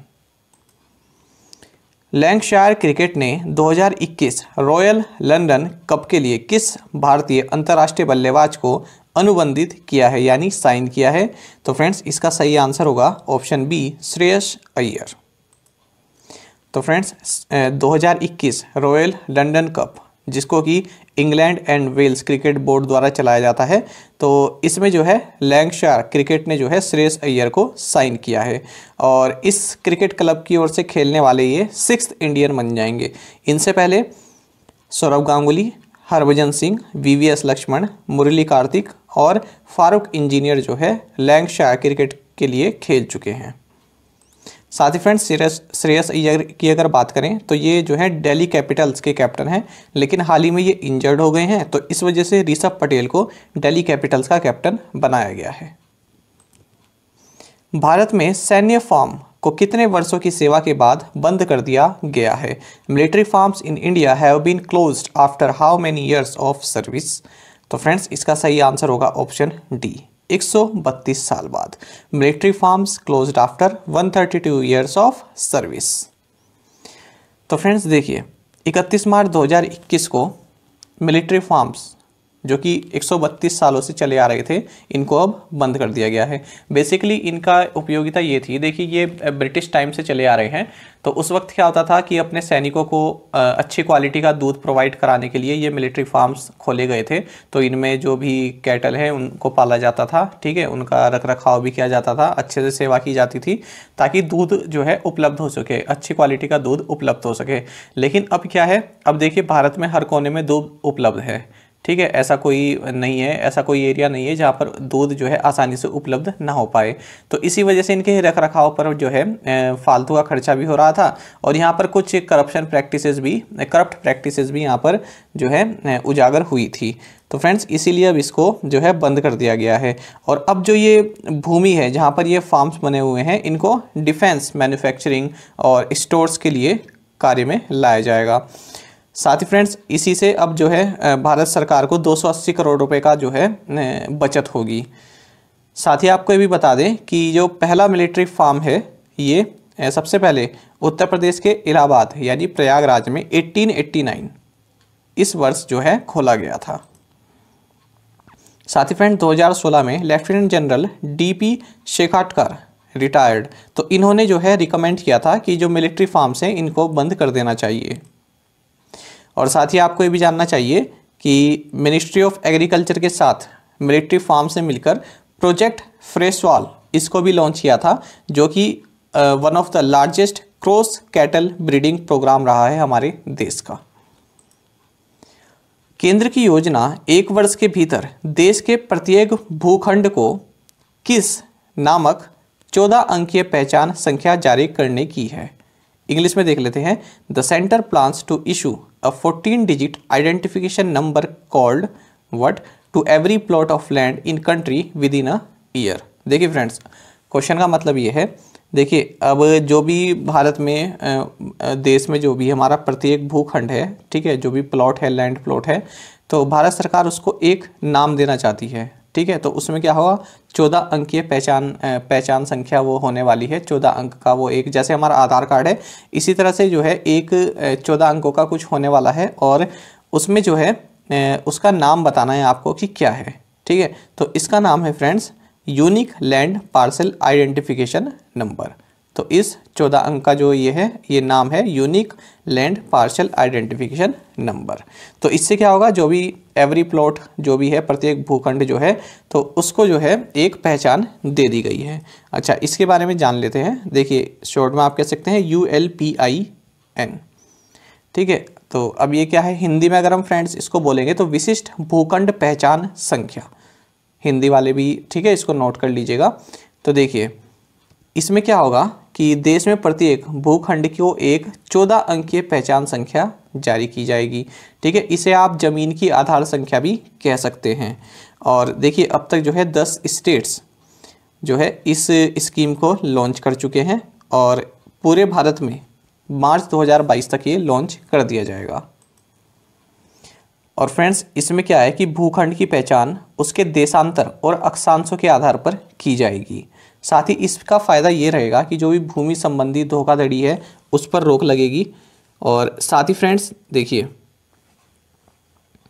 साथ ही जो लैंड इक्विजिशन है, यानी भूमि अधिग्रहण है, वो भी इजी हो जाएगा, ठीक है? और जो रियल इस्टेट ट्रांजेक्शन्स हैं, वो भी उनमें भी ट्रांसपेरेंसी आ जाएगी, ठीक है? कोई भ्रष्टाचार ना हो उसमें तो उसमें भी एक ट्रांसपेरेंसी हो जाएगी। साथ फ्रेंड्स जो भी कभी कभी ऐसा हो जाता है कि लैंड प्रॉपर्टी का पता ही नहीं लग पाता है कि ये किसकी है तो उसमें भी कई विवाद चलते हैं तो उनमें भी जो है, उन विवादों में भी यहाँ पर जो है फ़ायदा मिलने वाला है।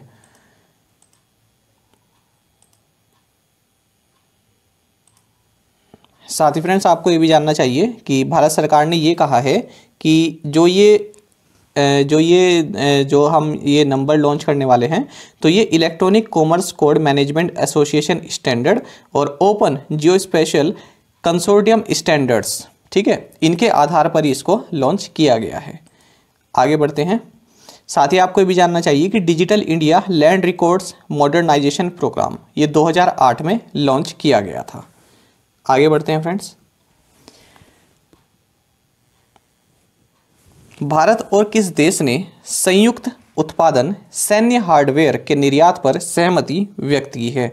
India and which country have agreed on joint production export on military hardware options आपके सामने हैं और करेक्ट आंसर होगा ऑप्शन डी साउथ कोरिया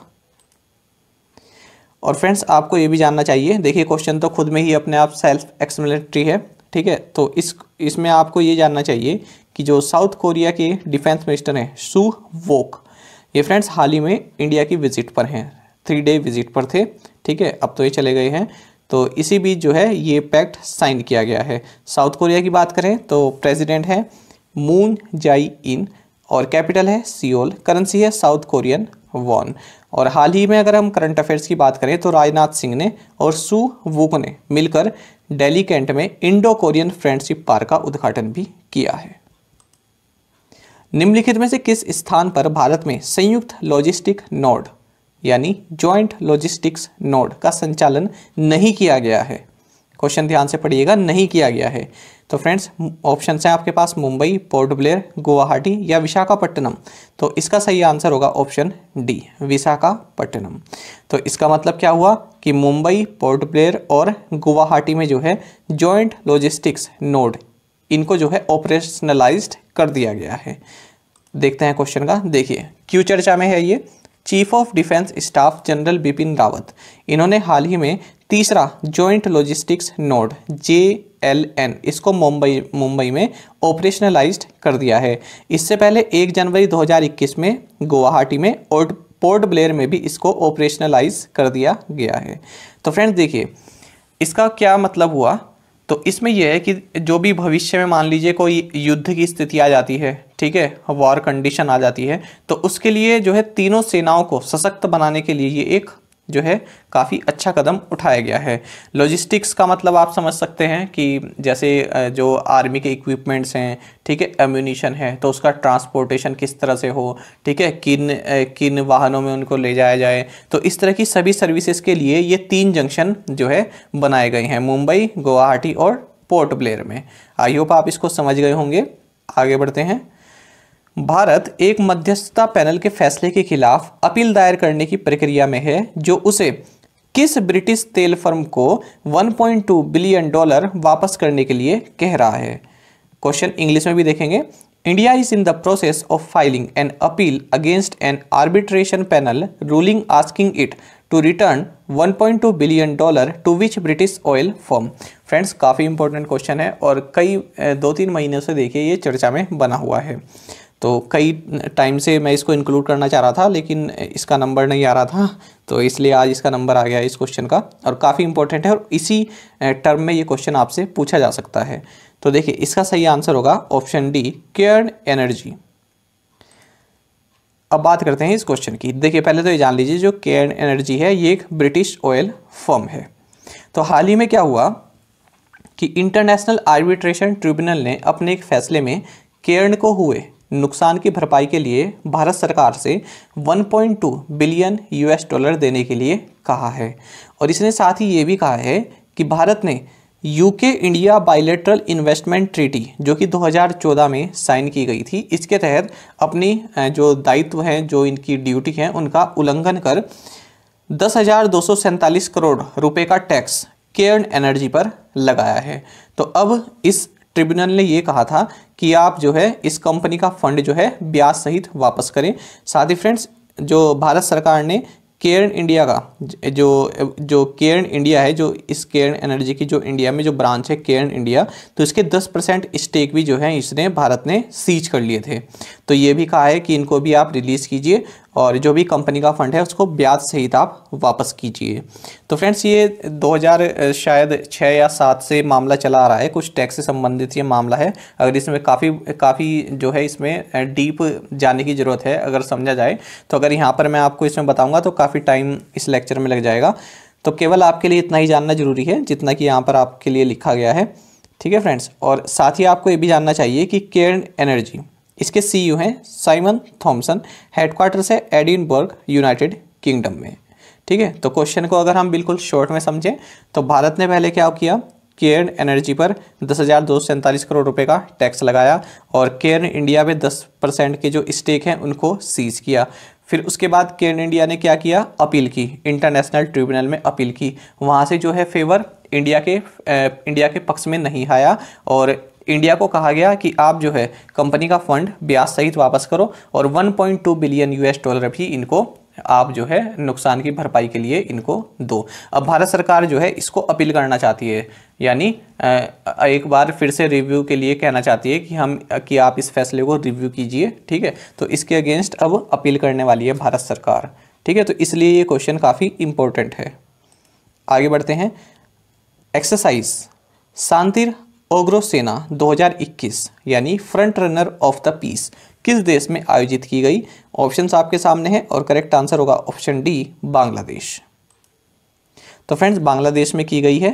किस लिए की गई है? जो बांग्लादेश के फाउंडिंग फादर हैं भगवंधु शेख मुजीबुर रहमान। तो इनकी जो है सौवीं बर्थ एनिवर्सरी मनाने के उपलक्ष्य में और बांग्लादेश लिबरेशन के 50 साल पूरे होने के उपलक्ष्य में ये एक्सरसाइज मनाई जा रही है, ये संपन्न की गई है। इसमें royal Bhutan army Sri Lankan army Bangladesh army और भारतीय आर्मी ने भी इसमें पार्टिसिपेट किया है। साथ ही इस एक्सरसाइज का थीम रहा है रोबस्ट पीस कीपिंग ऑपरेशंस और इसमें कुछ कंट्रीज़ जो हैं ऑब्जर्वर के रूप में भी कार्य किया USA UK Turkey Saudi Arab Kuwait Singapore इन सभी ने। वर्ल्ड सिटीज़ कल्चरल फोरम में दिल्ली, भारत का प्रतिनिधित्व कौन करेगा? तो फ्रेंड्स इस फोरम में भारत का प्रतिनिधित्व करेंगे अरविंद केजरीवाल। देखिए, लंदन के मेयर हैं सादिक खान। तो इन्होंने अरविंद केजरीवाल को जो है इस वर्ल्ड सिटीज़ कल्चरल फोरम में पार्टिसिपेट करने के लिए इनवाइट किया है। तो फ्रेंड जैसे कि नाम से ही पता चल रहा है कि सिटीज़ कल्चरल फोरम है, ठीक है? तो यहाँ पर जो है चालीस से ज़्यादा सिटीज़ इसमें पार्टिसिपेट करती हैं और जो भी कल्चरल रिलेटेड या फिर क्रिएटिविटी रिलेटेड जो भी इम्पोर्टेंस है या फिर इम्पैक्ट है सिटीज़ पर, उसके बारे में यहाँ पर डिस्कस किया जाता है। और इसका थीम रहने वाला है the future of culture. NCTE web portal के किस प्लेटफॉर्म को हाल ही में केंद्रीय शिक्षा मंत्री श्री रमेश पोखरियाल निशंक ने लॉन्च किया? तो ऑप्शंस आपके सामने हैं और करेक्ट आंसर होगा option A, my N E P twenty twenty. तो देखिए, union education minister Ramesh Pokhriyal Nishank launched the my N E P twenty twenty platform for N C platform of N C T E web portal. किस लिए launch किया गया है friends? देखिए national professional standards for teachers और national mission for mentoring programme membership. इसके लिए draft तैयार किया जा रहा है। पहले ड्राफ्ट तैयार किया जाता है, उसके बाद जब वो अप्रूव हो जाता है तो फिर वो एक पॉलिसी के रूप में सामने आता है। ठीक है, जैसे कि नेशनल एजुकेशन पॉलिसी का पहले ड्राफ्ट बनाया गया था, उसमें कई लोगों के सजेशंस मांगे गए थे, उसके बाद फिर वो पॉलिसी अप्रूव कर दी गई, फिर वो पॉलिसी के रूप में सामने आई। तो इसी तरह से ये जो national professional standards for teacher और ये N M M M N M M इसके लिए ड्राफ्ट बनाया जा रहा है, ठीक है? तो इसमें जो है लोगों से सजेशन मांगे गए हैं। तो ये इसके लिए ही my N E P twenty twenty platform जो है इसको लॉन्च किया गया है। और ये first April twenty twenty one से fifteenth May twenty twenty one तक जो है चालू रहने वाला है। नीली महारानी माई मदर माई हीरो शीर्षक वाली पुस्तक किसने जारी की? तो फ्रेंड्स इसका विमोचन किया है हमारे वाइस प्रेसिडेंट वेंकैया नायडू जी ने। ये पुस्तक जो है, लोकसभा मेंबर डॉक्टर अच्युता समंता द्वारा लिखी गई है और ये इनकी मदर लेट मदर की जो है बायोग्राफी है। उन्हीं के नाम पर ये बुक भी है श्रीमती नीली मरानी। सार्वजनिक उद्यम चयन बोर्ड, यानी public enterprises selection board, PESB के अध्यक्ष के रूप में किसे नियुक्त किया गया है? ऑप्शंस आपके सामने हैं और करेक्ट आंसर होगा ऑप्शन सी, मल्लिका श्रीनिवासन। तो देखिए, tractor and farm equipment limited की चेयरमैन मल्लिका श्रीनिवासन को सार्वजनिक उद्यम चयन बोर्ड, यानी पीईएसबी, इसकी अध्यक्ष के रूप में नियुक्त किया गया है। और यह पहली बार है जब किसी निजी क्षेत्र से पीईएसबी का प्रमुख नियुक्त किया गया है। इस पद पर इनका कार्यकाल तीन साल या साठ साल की उम्र होने तक रहेगा। जो ये पीईएसबी है, ये सरकारी कंपनियों के बड़े पदों पर नियुक्ति के लिए सिलेक्शन करता है। साथ ही इसमें फ्रेंड्स एक तो चेयरपर्सन होते हैं, साथ ही इसमें तीन फुल टाइम मेंबर्स भी होते हैं। वे कौन हैं? एक तो शैलेश हैं एम के गुप्ता हैं और शेखर मित्तल हैं। साथ ही आपको बता दें कि जो ये ट्रैक्टर्स एंड फार्म इक्विपमेंट यानी टेफ लिमिटेड है, ये जो है चेन्नई में इसका हेडक्वार्टर्स है और ये भारत के जो है one of the leading manufacturer and exporters of tractors के रूप में जाना जाता है, ठीक है? ट्रैक्टर्स को ये मैन्युफैक्चर करता है और एक्सपोर्ट का काम भी करता है। आगे बढ़ते हैं। निम्नलिखित में से कौन अपने सभी निवासियों के लिए स्वास्थ्य बीमा प्रदान करने वाला पहला राज्य बन गया है? तो फ्रेंड्स इसमें सही आंसर होगा option B Rajasthan. Rajasthan becomes first state to provide health insurance for all its residents देखिए, राजस्थान ने चिरंजीवी हेल्थ इंश्योरेंस स्कीम के तहत राज्य में प्रत्येक परिवार को पाँच लाख रुपए सालाना हेल्थ इंश्योरेंस प्रोवाइड कराया है। साथ ही आपको ये भी जानना चाहिए कि राजस्थान के गवर्नर है कलराज मिश्रा और कैपिटल है जयपुर। राजस्थान से जुड़े अगर हाल ही करंट अफेयर्स की बात करें तो यहाँ पर उड़ान तारा, ये समारोह भी आयोजित किया गया कहाँ पर? राजस्थान के धौलपुर डिस्ट्रिक्ट में। साथ ही फ्रेंड्स, इंडिया और यूएस द्वारा एक जॉइंट मिलिट्री एक्सरसाइज जिसका नाम युद्ध अभ्यास है ये भी हाल ही में राजस्थान में संपन्न हुई है। और स्कूल ऑफ़ पब्लिक हेल्थ ये राजस्थान में लॉन्च किया गया है। साथ ही फ्रेंड्स राजस्थान ने जो है, अपने स्टेट को मतलब राजस्थान को बैगर फ्री यानी भिक्षुक मुक्त बनाने के लिए स्किल ट्रेनिंग कैंपेन भी लॉन्च किया है। साथ ही फ्रेंड्स राजस्थान के बारे में थोड़ी सी जानकारी ले लेते हैं। एक तो ये आपको पता होगा कि ये लार्जेस्ट इंडियन स्टेट है, अगर एरिया वाइज हम बात करें। साथ ही ये पाकिस्तान के पंजाब प्रांत और सिंध प्रांत से बॉर्डर शेयर करता है। अच्छा यहाँ पर जो है इंडस वैली सिविलाइजेशन के जो अवशेष हैं कलीबंगन और बालाथल ये यहाँ पर पाए जाते हैं। Dilwara temples Mount Abu Keoladeo national park Ranthambore national park Sariska tiger reserve Mukundra hills tiger reserve Sorsan wildlife sanctuary Van Vihar sanctuary और कुंभलगढ़ वाइल्ड लाइफ सेंचुरी ये सभी राजस्थान में है और आपके स्ट्रेटेजी के लिए काफ़ी इंपॉर्टेंट है। साथ ही friends, Gangaur festival, Pushkar fair, Chandrabhaga fair, Bundi festival और सारस मेला यहाँ पर काफ़ी प्रमुख हैं। साथ ही आपको ये भी जानना चाहिए कि सवाई मानसिंह स्टेडियम, ये जयपुर में है और बरकतुल्ला खान स्टेडियम, ये जोधपुर में है। किस देश ने जानवरों के लिए दुनिया की पहली कोरोना वायरस वैक्सीन पंजीकृत की है? ऑप्शन आपके सामने हैं और करेक्ट आंसर होगा option B, Russia.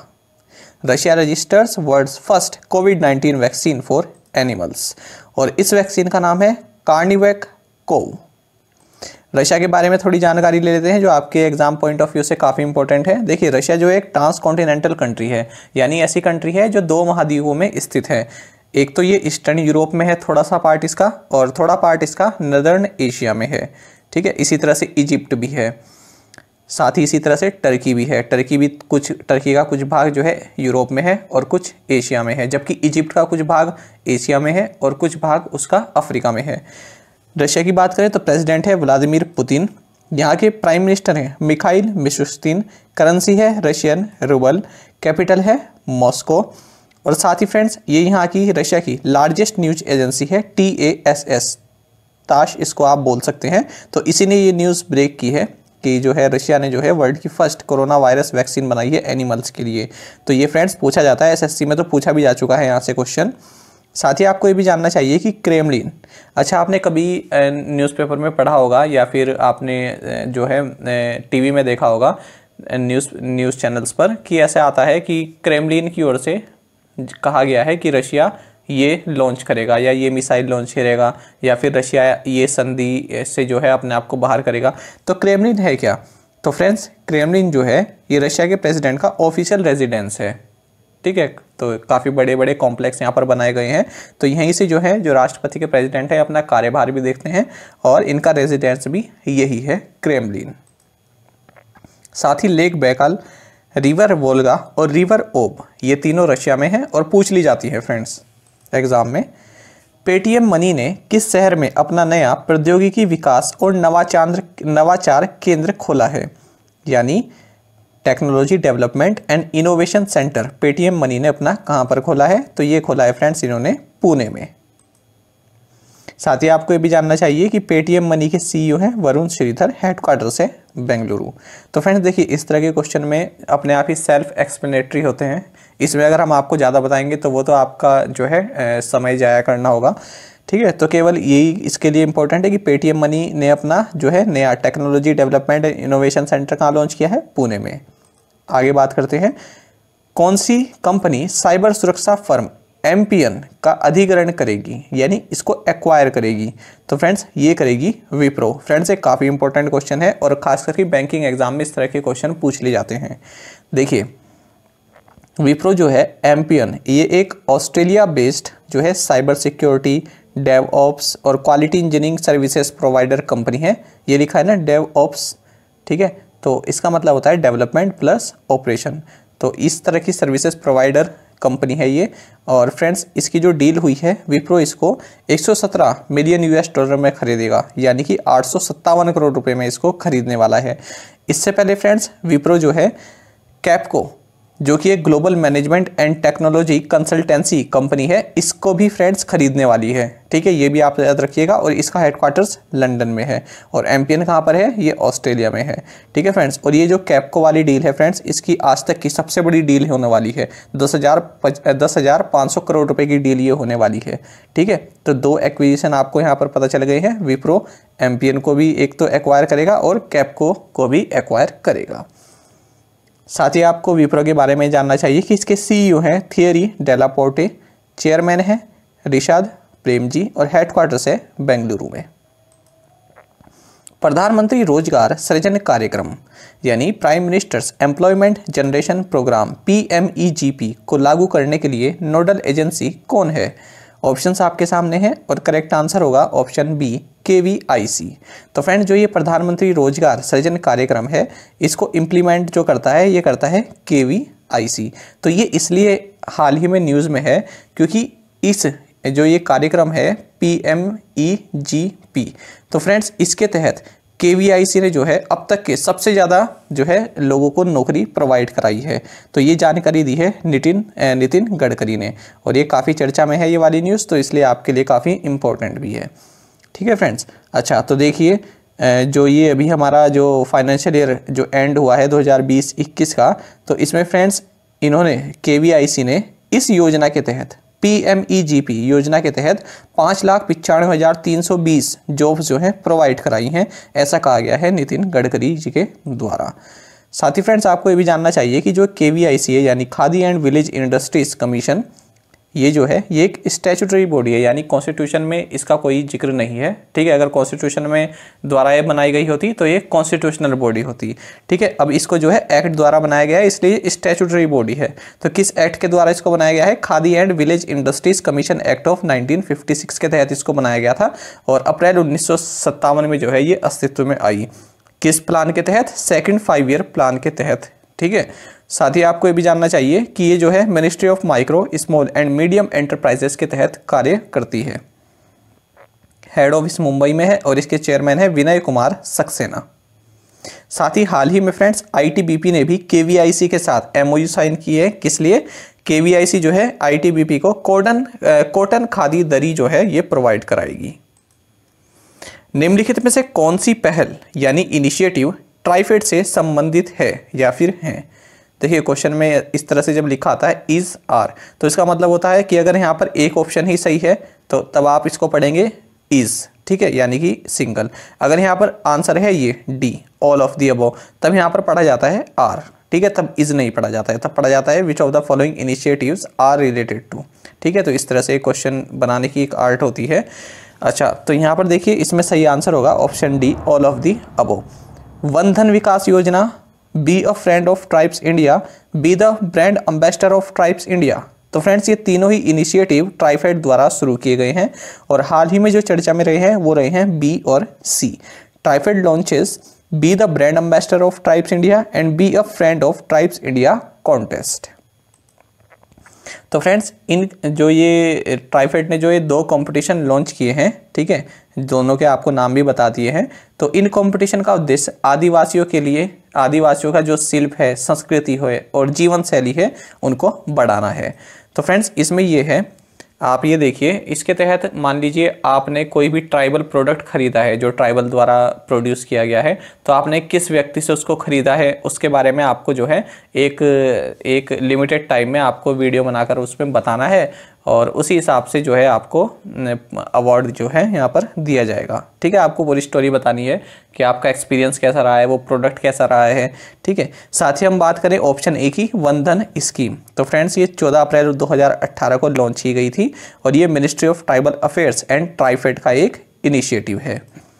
साथ ही फ्रेंड्स, आपको ये भी जानना चाहिए कि ट्राइफेड ने जो है ministry of micro small and medium enterprises के साथ मिलकर टैक फॉर ट्राइबल स्कीम ये भी लॉन्च किया था मार्च 2020 में। तो फ्रेंड्स, यहाँ पर चार आपके इनिशिएटिव हो गए हैं जो ट्राइफेड द्वारा शुरू किए गए हैं। तो पूछ ले जाते हैं एग्ज़ाम में, इसलिए आप इनको याद रखिएगा। साथ ही फ्रेंड्स, हाल ही में वन धन विकास योजना के तहत मणिपुर जो है मॉडल स्टेट बनकर आया है। यानी कि सबसे अच्छा कार्य जो है मणिपुर ने किया है वन धन विकास योजना के तहत। वन धन, नाम से ही पता चल रहा है कि वन का धन वन से धन क्या मिल सकता है? जो वन से हमें जो माइनर प्रोड्यूस मिलते हैं, ठीक है? जिनके तहत जो ट्राइबल्स होते हैं, जैसे बैम्बू से अलग अलग तरह के प्रोडक्ट बनाते हैं, ठीक है? और आप ये लोग जो है शहद बनाते हैं, ठीक है? तो इस तरह के जो शहद मतलब शहद की अपनी उसको अच्छे से पैक वगैरह करके फिर बेचते हैं, ठीक है? तो शहद को निकालते हैं ना तो इस तरह के जो भी माइनर प्रोड्यूस होते हैं, इनको वंधन स्कीम के तहत लाया गया है और ट्राइफेड जो है, इनको एक मार्केट प्रोवाइड कराती है, ठीक है? और इनको ट्रेनिंग देती है, जो ट्राइबल पीपल है, इनको ट्रेनिंग देती है। तो फ्रेंड्स ट्राइफेड जो है, इसकी स्थापना अगस्त उन्नीस सौ सतासी में 1987 में हुई थी। किसके तहत? Under the multi state cooperative societies act 1984 friends इस तरह की उसमें देखिए आपको इसकी बिल्कुल नहीं करना है, जब भी इस तरह की जानकारी आएगी। आधी अधूरी वीडियो आपको बिल्कुल नहीं देखनी है। अगर आप अपना टाइम निकाल निकाल ही रहे हैं पंद्रह से बीस मिनट तो फ्रेंड्स पूरा डेडिकेशन के साथ आप वीडियो को देखा कीजिए, तभी आप इसका फुल बेनिफिट ले सकते हैं। ठीक है फ्रेंड्स अच्छा ट्राइफेड की बात करें तो ये मिनिस्ट्री ऑफ़ ट्राइबल अफेयर्स के अंतर्गत कार्य करती है। और ट्राइबल अफेयर्स मिनिस्टर कौन है? अर्जुन मुंडा। साथ ही फ्रेंड्स हाल ही में ट्राईफेड ने कहा है कि ये मध्य प्रदेश में पाँच ट्राई फ़ूड पार्क्स इस्टेब्लिश करेगी।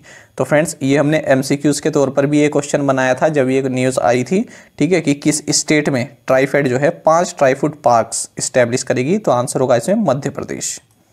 आगे बढ़ते हैं। मोहम्मद बजूम किस देश के नए राष्ट्रपति बने हैं? तो फ्रेंड्स इसका सही आंसर होगा ऑप्शन ए नाइजर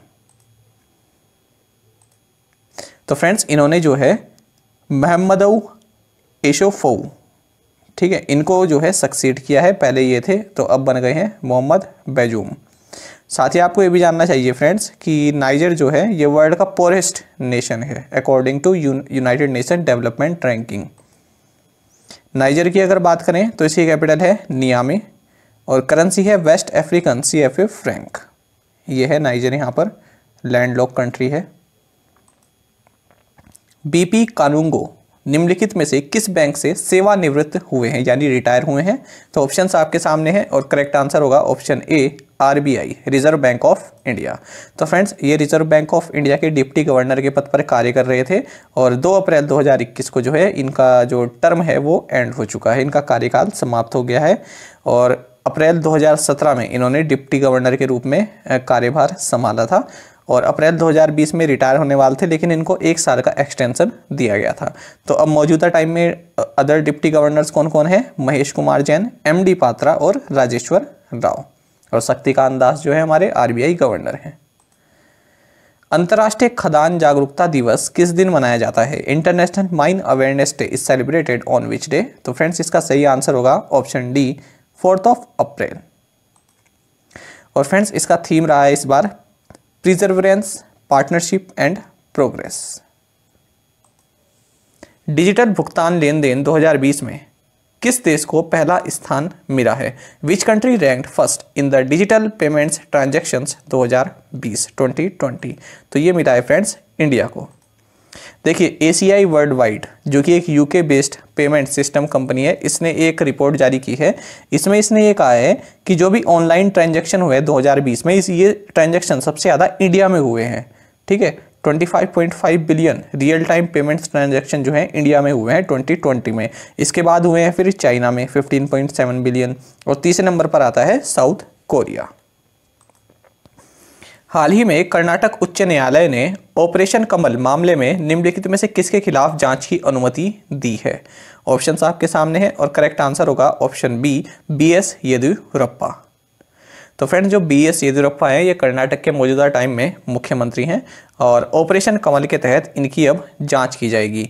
देखिए, मामला ये है, दो तरह से मामले हैं। देखिए 2008 में जो है येदियुरप्पा को बहुमत पाने के लिए कुछ उनकी ज़रूरत थी एम की ज़रूरत थी। तो क्या हुआ अपोजिशन पार्टी से कुछ एम इनकी पार्टी में बीजेपी में स्विच कर गए। ठीक है तो अब ऐसे कैसे कर गए? ठीक है तो अब ये कहा जा रहा है कि दूसरे दलों के विधायकों को अवैध तरीके से अपनी ओर खींच लेने का एक मिशन था ये, और जिसका नाम था ऑपरेशन कमल ऐसे ही फ्रेंड्स अब क्या हुआ 2018 में चुनाव हुए। ठीक है, सरकार बनी कांग्रेस और जेडीएस की। लेकिन 2019 में क्या हुआ कांग्रेस और जेडीएस के कुछ एमएलए बीजेपी में स्विच कर गए तो फिर कैसे स्विच कर गए? ठीक है तो वो भी क्या था? ऑपरेशन कमल के तहत किया गया था। तो अब इनकी जाँच की जा रही है कि क्या इसमें बी एस येदुरप्पा ने जो है इलीगल तरीके से उन एमएलएस को अपनी ओर किया था। ठीक है तो इसकी जाँच के लिए अब कर्नाटक कर्नाटक हाई कोर्ट ने जो है मंजूरी दे दी है। तो यही है ऑपरेशन कमल, यानी दूसरे दल के विधायकों को अवैध तरीके से अपनी ओर लाने का ये एक मिशन रहा है। और इसमें जो है जो अमित शाह का भी नाम इसमें जो है, यहाँ पर लेते हुए सुना गया है। उस जो इनकी एक जो ऑडियो लीक हुई है, उसमें। आगे बात करते हैं। निम्नलिखित में से किसने नेस्को, यानी North Eastern Electricity Supply Company of Orissa के प्रबंधन और संचालन को संभाला है? यानी उसके मैनेजमेंट और ऑपरेशन को जो है इन्होंने अब अब जो है अपने अपने ऊपर ले लिया है रिस्पॉन्सिबिलिटी ले ली है। तो ये ली है फ्रेंड्स टाटा पावर ने। तो फ्रेंड्स देखिए power utility company Tata power has taken over the management and operations of NESCO तो अब जो है फ्रेंड्स नेस्को में टाटा पावर के जो है 51 परसेंट स्टेक हैं, ठीक है? तो इसलिए अब जो है, इसी के ऊपर ये रिस्पॉन्सिबिलिटी आ गई है नेस्को के नेस्को के संचालन के लिए। निम्नलिखित में से किसने भारत में टीवी प्लस सेवा शुरू की है? टीवी प्लस सर्विस किसने लॉन्च की है? तो एक ही है फ्रेंड्स सैमसंग ने। तो वही है फ्रेंड्स इसमें भी कि फ्री कंटेंट आपको प्रोवाइड कराया जाएगा। एक तरह की एक सर्विस इसमें बढ़ा दी गई है। सैमसंग की होती होगी कोई सर्विस टीवी प्लस तो इसने अभी अपनी इंडिया में लॉन्च की है। ऑन डिमांड वीडियोज़ इसमें मिल पाएँगी, ठीक है? सैमसंग का हेडक्वार्टर सियोल साउथ कोरिया में है। ये भी आपको जानना चाहिए। ए सी टी एक्सीटर के लिए डब्ल्यू के विशेष दूत के रूप में किसे नियुक्त किया गया है? ऑप्शंस आपके सामने हैं और करेक्ट आंसर होगा ऑप्शन ए कार्ड बिट देखिए कोविड नाइन्टीन से रिलेटेड क्वेश्चन है, इसलिए इम्पोर्टेंट है, ध्यान से आप लोग सुनिएगा। तो डब्ल्यू यानी वर्ल्ड हेल्थ ऑर्गेनाइजेशन के डायरेक्टर जनरल टेड्रोस अधानोम ने स्वीडन के पूर्व prime minister and foreign minister Carl Bildt को एसीटी एक्सेलरेटर के स्पेशल एनवॉय यानी विशेष दूत के रूप में नियुक्त किया है। जान लेते हैं फ्रेंड्स कि ये एसीटी एक्सेलरेटर क्या है? इंपॉर्टेंट टॉपिक है। देखिए एसीटी का मतलब है access to COVID nineteen tools देखिए, जो ये ए सी टी एक्सेलरेटर है, ये एक ग्लोबल कोलेबोरेशन यानी वैश्विक सहयोग है, जिसका मकसद कोविड नाइन्टीन के टेस्ट इलाज और वैक्सीन के उत्पादन में तेज़ी लाना है और इसकी वैक्सीन को लोगों तक उचित रूप से पहुंचाना है। तो इस, इसका आयोजन किसके द्वारा किया गया था? अप्रैल 2020 में director general of World Health Organization, France के प्रेसिडेंट के द्वारा और यूरोपियन कमीशन के प्रेसिडेंट के द्वारा, साथ ही Bill and Melinda Gates Foundation के द्वारा। साथ ही आपको ये भी जानना चाहिए कि जो ये ए सी टी एक्सीटर है, इसके चार स्तंभ हैं। चार स्तंभों पर ये आधारित है डायग्नोस्टिक्स और दूसरा है therapeutic vaccines and health system strengthening देखिए फ्रेंड जो ये शब्द लिखा है थेरेप्यूटिक इसका मतलब होता है तनाव मुक्त या फिर बेहतर महसूस करना। जैसे आप कहना चाहते हैं कि मैं म्यूज़िक सुन, सुनने के बाद तनाव मुक्त या फिर बेहतर महसूस करता हूँ तो आप इसको इंग्लिश में इस तरह से यूज़ करेंगे। I find listening to music very therapeutic ठीक है फ्रेंड्स आगे बढ़ते हैं। किस देश के छात्रों को भारत सरकार से मुक्ति जोधा छात्रवृत्ति मिलेगी? ऑप्शंस आपके सामने हैं और करेक्ट आंसर होगा ऑप्शन डी बांग्लादेश। तो 2000 बांग्लादेशी स्टूडेंट्स टू गेट मुक्ति जोधा स्कॉलरशिप जान लेते हैं इसके बारे में। देखिए, बांग्लादेश के लिबरेशन वॉर में जो भी लोग शामिल हुए, ठीक है, जो वार फाइटर्स रहे इसमें तो उनकी जो आने वाली पीढ़ी है तो उनमें से कुछ 2000 लोगों को मुक्ति जोधा स्कॉलरशिप इस स्कीम के तहत उनको जो है लाया जाएगा। और ये जो स्कॉलरशिप है, ये गवर्नमेंट ऑफ़ इंडिया द्वारा 2017 में अनाउंस की गई थी। साथ ही आपको ये भी जानना चाहिए, हाल ही में प्रधानमंत्री नरेंद्र मोदी बांग्लादेश के दौरे से आप वापस आए हैं, ठीक है? तो इसमें क्या रहा है? जल्दी से उसको रिकैप करेंगे। पहले तो आप ये जान लीजिए कि बांग्लादेश जो है, अपनी आज़ादी का गोल्डन जुबली मना रहा है, यानी 50 वर्ष पूरे इसके हो रहे हैं, क्योंकि 1971 में, ठीक है, बांग्लादेश जो है आज़ाद हुआ था जब 16 दिसंबर 1971 को पाकिस्तान ने सरेंडर कर दिया था। साथ ही फ्रेंड्स इनके जो फादर ऑफ़ नेशन है बगबंधु शेख मुजीबुर रहमान तो इनकी जो है ये बर्थ सेंटिनरी भी मना रहे हैं। सेंटिनरी का मतलब होता है सौ वर्ष इनको हो गए हैं। तो इनका जन्म जो है सत्रह मार्च 1920 को हुआ है, ठीक है? तो अब पिछले साल 2020 को जो है इनके सौ साल हो गए थे, इनकी बर्थ एनिवर्सरी को। तो बांग्लादेश जो है वंस एक वन ईयर लॉन्ग सेलिब्रेशन मना रही है। तो 2021 में भी ये चल रहा है। साथ ही आपको ये भी जानना चाहिए कि इंडिया और बांग्लादेश ने हाल ही में पाँच एम साइन किए हैं। प्रधानमंत्री नरेंद्र मोदी और बांग्लादेश की पीएम शेख हसीना ने मिथाली एक्सप्रेस पैसेंजर ट्रेन इसको लॉन्च किया है। पैसेंजर ट्रेन है ये मिथाली, ढाका और न्यू जलपाईगुड़ी के बीच में। साथ ही आपको ये भी जानना चाहिए कि प्रधानमंत्री नरेंद्र मोदी ने जो बगबंधु शेख मुजीबुर रहमान हैं तो इनकी ग्रेव यानी इनका मकबरा, ठीक है, इसको भी इन्होंने विज़िट किया है और ऐसा करने वाले ये भारत के पहले प्रधानमंत्री बन गए हैं। कहाँ पर है इनका मकबरा? तुंगीपारा में।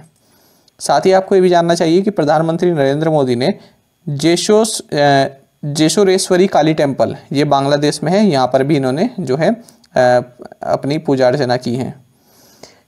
नेक्स्ट क्वेश्चन है, कृषि आधारित पहला सौर ऊर्जा संयंत्र, यानी प्लांट किस राज्य में स्थापित किया गया है? ऑप्शंस आपके सामने हैं और करेक्ट आंसर होगा ऑप्शन बी राजस्थान।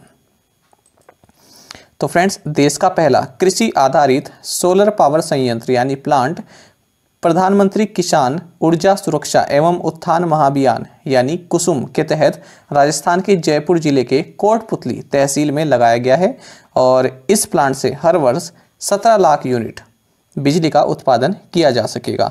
तो यहाँ पर आपके लिए कुसुम, इसकी फुल फॉर्म याद रखनी आपको ज़रूरी है, किसान ऊर्जा सुरक्षा एवं उत्थान महाभियान राजस्थान के बारे में अगर हम जानकारी लें तो यहाँ के सीएम है अशोक गहलोत, गवर्नर है कलराज मिश्रा और कैपिटल है जयपुर। बाकी हम प्रीवियस सेशन में जयपुर राजस्थान से जुड़ी स्कीम भी को भी रिवाइज कर चुके हैं और इसके, इससे जुड़े करंट अफेयर्स भी हम देख चुके हैं। फिर से जब राजस्थान से जुड़े चार पाँच करंट अफेयर्स हमारे पास हो जाएँगे, फिर से हम दोबारा रिवाइज करेंगे। आगे बढ़ते हैं। राधेश्याम खेम का जिनका हाल ही में निधन हो गया, वे किस पब्लिशर के अध्यक्ष थे? यानी किस प्रकाशक के जो हैं ये अध्यक्ष थे। तो ऑप्शन आपके सामने हैं और करेक्ट आंसर होगा ऑप्शन ए गीता प्रेस। तो prime minister condoles the passing away of Gita Press president Radheshyam Khemka. देखिए, जिन भी लोगों की मृत्यु हो जाती है या निधन हो जाता है और उस पर प्रधानमंत्री या फिर वाइस प्रेसिडेंट ये सब खेद ये सब जो है अपना दुख प्रकट करते हैं।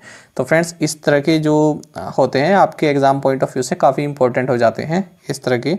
तो देखिए जो राधेश्याम खेमका हैं, ये गीता प्रेस के प्रेसिडेंट रहे थे, ठीक है? और आपको जानना चाहिए कि गीता प्रेस, ये वर्ल्ड की लार्जेस्ट पब्लिशर है हिंदू रिलीजियस टेक्स्ट की। और गोरखपुर, उत्तर प्रदेश में ये लोकेटेड है। इसको 1923 में जया दयाल गोयनका और घनश्याम दास चलान, इनके द्वारा शुरू किया गया था ताकि सनातन धर्म का प्रचार किया जा सके। दिग्विजय सिंह जाला जिनका हाल ही में निधन हो गया, ये भारत के पहले कौन से मंत्री थे? तो फ्रेंड्स ऑप्शंस आपके सामने हैं और करेक्ट आंसर होगा ऑप्शन डी इन्वायरमेंट मिनिस्टर थे। प्रधानमंत्री Narendra Modi condoles demise of India's first environment minister Digvijay Singh Jhala. ठीक है फ्रेंड्स अच्छा और ये जो है, गुजरात के वानकानेर से जो है एमएलए भी रह चुके थे। आपको ये भी जानना चाहिए कि जब इंदिरा गांधी प्राइम मिनिस्टर थी, तब जो है इन्वायरमेंट मिनिस्ट्री बनाई गई थी। और ये दिग्विजय सिंह जी जो हैं, ये पहले इन्वायरमेंट मिनिस्टर रहे हैं, उन्नीस सौ बयासी से उन्नीस सौ चौरासी तक। निम्नलिखित में से किसने गाँव एवं डिजिटल कनेक्ट मुहिम, जिसका नाम है संकल्प से सिद्धि, इसको लॉन्च किया है? तो ये लॉन्च किया है फ्रेंड्स ट्राइफेड ने, यानी Tribal Cooperative Marketing Development Federation of India ने। तो फ्रेंड्स, इसका मत, इसका मकसद यही है कि जो वन धन विकास केंद्र हैं तो इनको जो है गाँव में एक्टिवेट करना, यानी सुचारू रूप से इनको चलाना। अच्छा अगर हम ट्राइफेड के जुड़े प्रोग्राम की बात करें ट्राइफेड से जुड़े जो प्रोग्राम्स हैं, देखिए वन धन योजना है, जो कि मिनिस्ट्री ऑफ़ ट्राइबल अफेयर्स और ट्राइफेड दोनों मिलकर चला रहे हैं। वन धन सामाजिक दूरी, जागरूकता अभियान, ये भी ट्राइफेड का एक प्रोग्राम है। टेक फॉर ट्राइबल्स स्कीम जिसे ट्राइफेड जो है मिनिस्ट्री ऑफ़ एमएसएमई के सहयोग से चला रही है। साथ ही ट्राई फ़ूड और हाल ही में ट्राइफेड ने दो कंपटीशन भी लॉन्च किए हैं जिनके नाम है be the brand ambassador of tribes India और be a friend of tribes India बाकी फ्रेंड्स ट्राइफेड के बारे में हम अपने प्रीवियस सेशन में काफ़ी कुछ जान चुके हैं, ठीक है? तो उसको रिपीट नहीं करेंगे फिर से। दिल्ली किस स्थान पर अपना पहला विभाजन संग्रहालय खोलेगा? Delhi will open its first partition museum at which place तो ऑप्शंस आपके सामने हैं और करेक्ट आंसर होगा option D Dara Shikoh library तो देखिए, जो ये पार्टीशन म्यूज़ियम बनेगा तो अमृतसर में भी पार्टीशन म्यूज़ियम है तो उसी को जो है एक, उसी का एक एक्सटेंशन आप कह सकते हैं, उसी का एक दूसरा रूप कह सकते हैं। ये खुलेगा दारा शिको लाइब्रेरी जो कि पुरानी दिल्ली के मोरी गेट पर स्थित है ये बिल्डिंग साथ ही आपको ये भी जानना चाहिए कि दारा शिको कौन थे? दारा शिको शाहजहाँ के एल्डेस्ट सन थे, यानी सबसे बड़े सन थे। ठीक है, इनके सबसे बड़े पुत्र थे। अच्छा जो ये पार्टीशन म्यूज़ियम है, किसके द्वारा बनाया जाएगा? तो दिल्ली गवर्नमेंट का जो डिपार्टमेंट ऑफ़ आर्कियोलॉजी है ये किसके साथ मिलकर? Arts and cultural heritage trust के साथ मिलकर इस म्यूज़ियम को बनाएगा। आगे बढ़ते हैं। ओएनजीसी के अध्यक्ष और प्रबंध निदेशक, यानी chairman and managing director CMD का अतिरिक्त प्रभार किसने ग्रहण किया है या किसने संभाला है? तो ये संभाला है फ्रेंड्स सुभाष कुमार ने। Subhash Kumar assumes additional charge as O N G C C M D तो इन्होंने क्यों संभाला है? क्योंकि जो फ़िलहाल तक सी एम डी यहाँ कर रहे हैं शशि शंकर तो इनका हाल ही में जो है अब रिटायरमेंट हो चुका है। इनका जो है पीरियड टाइम पीरियड पूरा हो चुका है इस पद पर। बात करें फ्रेंड्स अगर हम ओ एन जी सी की तो ये महारत्न कंपनी है और ये इंडिया की largest crude oil and natural gas company है। साथ ही आपको ये भी जानना चाहिए कि हिंदुस्तान पेट्रोलियम कॉरपोरेशन लिमिटेड यानी एच और Mangalore refinery and petrochemicals limited, MRPL, ये दोनों ही ओएनजीसी की सब्सिडरी कंपनीज़ हैं। साथ ही आपको ये भी जानना चाहिए कि क्रूड ऑयल क्या होता है फ्रेंड्स क्रूड ऑयल एक रॉ मटेरियल होता है जिसको कि ऑयल कंपनीज़ यूज़ करती हैं। किस लिए यूज़ करती हैं? ताकि पेट्रोलियम प्रोडक्ट्स बनाए सकें। पेट्रोलियम प्रोडक्ट्स क्या क्या होते हैं? पेट्रोल डीजल केरोसिन नेपथा और कुकिंग गैस एलपीजी आगे बढ़ते हैं। नासा के खगोल विदों यानी एस्ट्रोनॉमर्स ने हाल ही में पहली बार किस ग्रह से एक्सरे उत्सर्जन का पता लगाया है? ऑप्शंस आपके सामने हैं और करेक्ट आंसर होगा ऑप्शन सी यूरेनस तो यूरेनस जिसे कि अरुण ग्रह भी बोलते हैं तो फ्रेंड्स नासा के जो एस्ट्रोनॉमर्स हैं, इन्होंने जो है एक्सरे का उत्सर्जन जो है यूरेनस से खोजा है। किसके through? Chandra X ray observatory को यूज़ करके। साथ ही आपको ये भी जानना चाहिए यूरेनस के बारे में अगर हम जानकारी लें तो फ्रेंड्स अगर हम सन से इसकी बात करें तो सातवें नंबर का ये प्लेनेट होता है और ग्रीनिश कलर का ये होता है। इसको आइस जॉइंट भी कहते हैं और विलियम हेर्शल के द्वारा इसको खोजा गया था। साथ ही आपको ये भी जानना चाहिए कि इसको साइडवेज प्लैनेट बोलते हैं, क्योंकि ये अपनी साइड पर रोटेट करता है। ठीक है? और ये जो है, इसकी जो डायमीटर है, ये अर्थ के डायमीटर से चार गुनी होती है। साथ ही फ्रेंड्स ये पहला प्लैनेट है जिसको टेलीस्कोप के द्वारा खोजा गया था। साथ ही इसके 27 मून्स हैं और ये सभी मून्स का नाम जो है विलियम शेक्सपियर और अलेक्जेंडर पॉप इनके जितने भी नॉवल हैं तो उसमें जो जो कैरेक्टर रहे हैं, उनके नाम पर रखा गया है।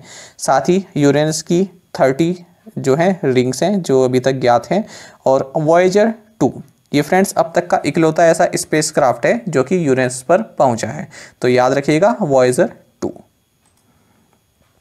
राष्ट्रीय समुद्री दिवस किस दिन मनाया जाता है? यानी national maritime day is celebrated on which day?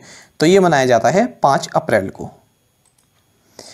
ठीक है, और इस बार 2021 में ये फिफ्टी एट्थ एडिशन रहा है। साथ ही आपको ये भी जानना चाहिए कि पहली बार 5 अप्रैल 1919 के दिन Scindia steam navigation company limited का पहला steam ship S S Loyalty जो है मुंबई से लंदन की पहली समुद्री यात्रा के लिए इंटरनेशनल वाटर एरिया में उतारा गया था। तो इसी उपलक्ष्य में 5 अप्रैल को जो है 5 अप्रैल उन्नीस सौ चौंसठ को नेशनल मैरीटाइम डे बनाने का जो है संकल्प लिया गया और तब से इसको मनाया जा रहा है। इसका जो भी थीम होगा फ्रेंड्स हम नेक्स्ट सेशन में देख लेंगे क्योंकि अभी तक मुझको न्यूज़पेपर में या फिर ऑनलाइन जो भी न्यूज़ पेपर हैं, उनमें मेरे को इसका थीम नहीं प्राप्त हुआ। ठीक है कवर कर लेंगे अगर थीम होगा, कुछ भी नहीं छूटेगा। साथ ही आपको ये भी जानना चाहिए कि इंडियन नेवी डे, ये चार दिसंबर को मनाया जाता है और वर्ल्ड मैरीटाइम डे, ये कब मनाया जाता है? ये फ्रेंड्स, हर साल सितंबर महीने में जो लास्ट थर्सडे आता है, उस दिन मनाया जाता है वर्ल्ड मैरीटाइम डे। तो फ्रेंड्स, तीनों एक जैसे डेज़ हैं तो यहाँ पर साथ में आपके लिए लिख दिए गए हैं, इनको आप नोट कर लीजिएगा। आगे बढ़ते हैं। मियामी ओपन 2021 किसने जीता है? ऑप्शंस आपके सामने हैं और करेक्ट आंसर होगा ऑप्शन सी, एसले बार्टी। तो यहाँ पर बात हो रही है टेनिस की। एसले बार्टी जो है, ये ऑस्ट्रेलिया की टेनिस प्लेयर हैं और इन्होंने मियामी ओपन 2021 जीत लिया है, ये यूएस में हुआ है और इन्होंने किसे हराया है? बियांका एंड्रेस्कू को जो कि कनाडा की है। और ये जो है चोट की वजह से रिटायर हो गई थी तो इसलिए इन्हीं को विनर जो है, इनको बनाया गया है। और बार्टी जो है, ये नंबर वन प्लेयर हैं फ्रेंड्स, ये भी आपको जानना चाहिए टेनिस की। हाल ही में रूसी वैज्ञानिकों ने बैकाल झील के पानी में बैकाल जीवीडी नामक एक under water neutrino telescope launch किया है। आपको बताना है कि बैकाल झील ये कहाँ पर स्थित है? तो फ्रेंड्स, ऑप्शंस आपके सामने हैं और करेक्ट आंसर होगा ऑप्शन ए, रशिया। तो फ्रेंड्स, जो ये बैकाल झील है, ये रशिया के सिबेरिया रीजन में स्थित है और ये वर्ल्ड की डीपेस्ट लेक है। बात करें अगर क्वेश्चन की तो रशिया के साइंटिस्ट ने जो है वर्ल्ड का biggest under water neutrino telescope जिसका नाम है बैकाल जीवीटी ठीक है? इसको जो है लेक बैकाल के पानी में जो है उतारा है। अच्छा आपको ये भी जानना चाहिए कि न्यूट्रिनो का मतलब क्या है? देखिए फ्रेंड्स जो न्यूट्रिनो है न्यूट्रो न्यूट्रिनो है, ये सब एटॉमिक पार्टिकल होते हैं, ठीक है? इनको आप कह सकते हैं कि इलेक्ट्रॉन की तरह होते हैं, पर इसमें इलेक्ट्रिक चार्ज नहीं होता है, और इसका जो मास होता है, वो भी काफ़ी स्मॉल होता है कभी कभी इवन ज़ीरो भी हो सकता है, और ये जो है इलेक्ट्रॉनिक मैग्नेटिक फ़ील्ड के द्वारा बिल्कुल अनअफेक्टेड रहते हैं, ठीक है? अच्छा अगर हम बात करें बैकाल जीवीटी की तो फ्रेंड्स ये जो है तीन गिने चुने लार्जेस्ट न्यूट्रिनो डिटेक्टर्स में से एक है। बाकी के दो हैं आइस क्यूब और और तीसरा है एंटर्स हाल ही में यूएनडीपी इंडिया और स्पाइसेस बोर्ड ऑफ़ इंडिया ने ब्लॉकचेन संचालित प्रणाली के लिए एक समझौता ज्ञापन पर हस्ताक्षर किए हैं। आपको बताना है कि स्पाइसेस बोर्ड ये कहाँ पर स्थित है? ऑप्शंस आपके सामने हैं और करेक्ट आंसर है ऑप्शन ए कोची तो देखिए, इस तरह से यहाँ पर दो क्वेश्चन आपके कवर हो गए हैं। एक तो यही कि यूएनडीपी इंडिया ने स्पाइसेस बोर्ड ऑफ़ इंडिया के साथ एक एमओयू साइन किया है। दूसरा ये कि स्पाइसेस बोर्ड ये कहाँ पर स्थित है? तो ये कोची, केरला में स्थित है। क्वेश्चन के बारे में देख लेते हैं। तो ministry of commerce and industry के अंडर कार्य करने वाली स्पाइसेस बोर्ड ऑफ़ इंडिया और यूएनडीपी इंडिया के एक्सीलेटर लैब ने व्यापार में पारदर्शिता लाने की खातिर भारतीय मसालों के लिए ब्लॉकचेन आधारित ट्रेसेबिलिटी इंटरफेस विकसित करने के लिए एक सहमति ज्ञापन पर हस्ताक्षर किए हैं। साथ ही फ्रेंड्स आपको ये बता दें कि भारत जो है, ये दुनिया में मसालों का सबसे बड़ा निर्यातक, उत्पादक और उपभोक्ता है। फ्रेंड्स अब मैं जो आपको बताने वाला हूँ, ये आपके एग्ज़ाम पॉइंट ऑफ़ व्यू से काफ़ी इंपॉर्टेंट है, इसलिए आप इनको नोट डाउन ज़रूर कर लीजिएगा। देखिए ministry of commerce and industry का जो डिपार्टमेंट ऑफ़ कॉमर्स है तो इसके तहत पाँच इस तरह के बोर्ड्स आते हैं, जैसे स्पाइसेस बोर्ड इंडिया है ना, इसी तरह के पाँच बोर्ड्स आते हैं, और इन सभी के हेडक्वार्टर्स यानी ये लो, ये कहाँ पर स्थित हैं तो ये आपके लिए जानना काफ़ी ज़रूरी है। देखिए स्पाइसेस बोर्ड जैसा ही क्वेश्चन बता दिया, कोची, केरल में है। रबर बोर्ड ये कोटायम केरला में है। टी बोर्ड ये कोलकाता वेस्ट बंगाल में है। कॉफ़ी बोर्ड ये बेंगलुरु, कर्नाटक में है। और टोबैको बोर्ड ये गुंटूर, आंध्र प्रदेश में है। यहाँ से फ्रेंड्स क्वेश्चन पूछ ले जाते हैं और कई बार अलग अलग एग्ज़ाम में इनके हेडक्वार्टर्स पूछे गए हैं कि इनकी लोकेशन क्या है, कहाँ पर ये स्थित हैं। आगे बढ़ते हैं। अटल इनोवेशन मिशन यानी एम, के नए मिशन निदेशक के रूप में किसे नियुक्त किया गया है? Who has been appointed as the new mission director for Atal innovation mission options आपके सामने हैं और करेक्ट आंसर होगा ऑप्शन बी चिंतन वैष्णव। तो फ्रेंड्स, चिंतव वैष्णव, इनको अटल इनोवेशन मिशन का न्यू मिशन डायरेक्टर नियुक्त किया गया है। आपको बता दें कि अटल इनोवेशन मिशन तो इसके संचालन की ज़िम्मेदारी नीति आयोग की है और जो ये डॉक्टर चिंतन वैष्णव हैं, ये रामानाथन रमणन, इनको रिप्लेस करेंगे, ठीक है? और जो ये डॉक्टर वैष्णव हैं, ये जो है, फ़िलहाल जो ये मैसेच्यूट्स इंस्टीट्यूट ऑफ़ टेक्नोलॉजी है यूएसए में यहाँ पर कार्यरत हैं और अब ये जो है इस अटल इनोवेशन मिशन की ज़िम्मेदारी संभालने के लिए यहाँ पर आएँगे। फ्रेंड्स, आपको बता देंगे, देखिए, दो टर्म आपको कन्फ्यूजिंग कन्फ्यूज़ करती होंगी और ये काफ़ी चर्चा में भी रहता है और आपके लिए जानना ज़रूरी है। एक तो अटल इनोवेशन मिशन, दूसरा अटल टिंकरिंग लैब्स। ठीक है? देखिए, अटल इनोवेशन मिशन का उद्देश्य जो है इकोनॉमी के डिफरेंट सेक्टर्स में इनोवेशन लाना है। इसके लिए नए प्रोग्राम्स, पॉलिसीज़ डेवलप करना है। साथ ही अगर हम अटल टिंकरिंग लैब्स की बात करें तो देखिए, ये इस तरह की लैब्स जो है स्कूल, स्कूल्स में जो है खोली जा रही हैं। क्यों? ताकि जो बच्चे हैं, उनके अंदर क्रिएटिविटी क्यूरियोसिटी और इमेजिनेशन इस तरह का जो है इस तरह की आदत, इस तरह के जो है विचार डेवलप हो सके। तो इसी में एक टर्म आती है S T E M STEM यानी science technology engineering and maths तो इन जो भी ये चारों के चारों सब्जेक्ट्स हैं, या फिर आप जो ये थीम कह सकते हैं तो इनसे रिलेटेड बच्चों के अंदर एक क्यूरियोसिटी बने। कुछ नया करने की जो है एक एक एक तरह की जो है वो, एक इसमें एक कुछ नया करने की कोशिश करें, ठीक है, ट्राई करें। इस टेम के अंदर science technology engineering and maths के तहत। तो इसी तह, इसी के लिए अटल टिंकरिंग लैब्स यहाँ पर खोली जा रही हैं स्कूल्स में। तो इसके तहत इन्हें थ्री प्रिंटर्स प्रोवाइड कराए जाते हैं सेंसर प्रोवाइड कराए जाते हैं और भी कई तरह के इक्विपमेंट्स यहाँ पर प्रोवाइड कराए जाते हैं। तो फ्रेंड्स अब तक भारत में सात हज़ार दो सौ उनसठ अटल टिंकरिंग लैब्स खोली जा चुकी हैं। चंद्रा नायडू, जिनका हाल ही में निधन हो गया, वह किस खेल की पहली भारतीय कमेंटेटर थी? तो फ्रेंड्स इसका सही आंसर होगा ऑप्शन बी, क्रिकेट। तो चंद्रा नायडू, इनका हाल ही में निधन हो गया है और ये इंडिया की पहली फीमेल क्रिकेट कमेंटेटर रही हैं और ये जो है महान क्रिकेटर सी के नायडू, इनकी डॉटर थी।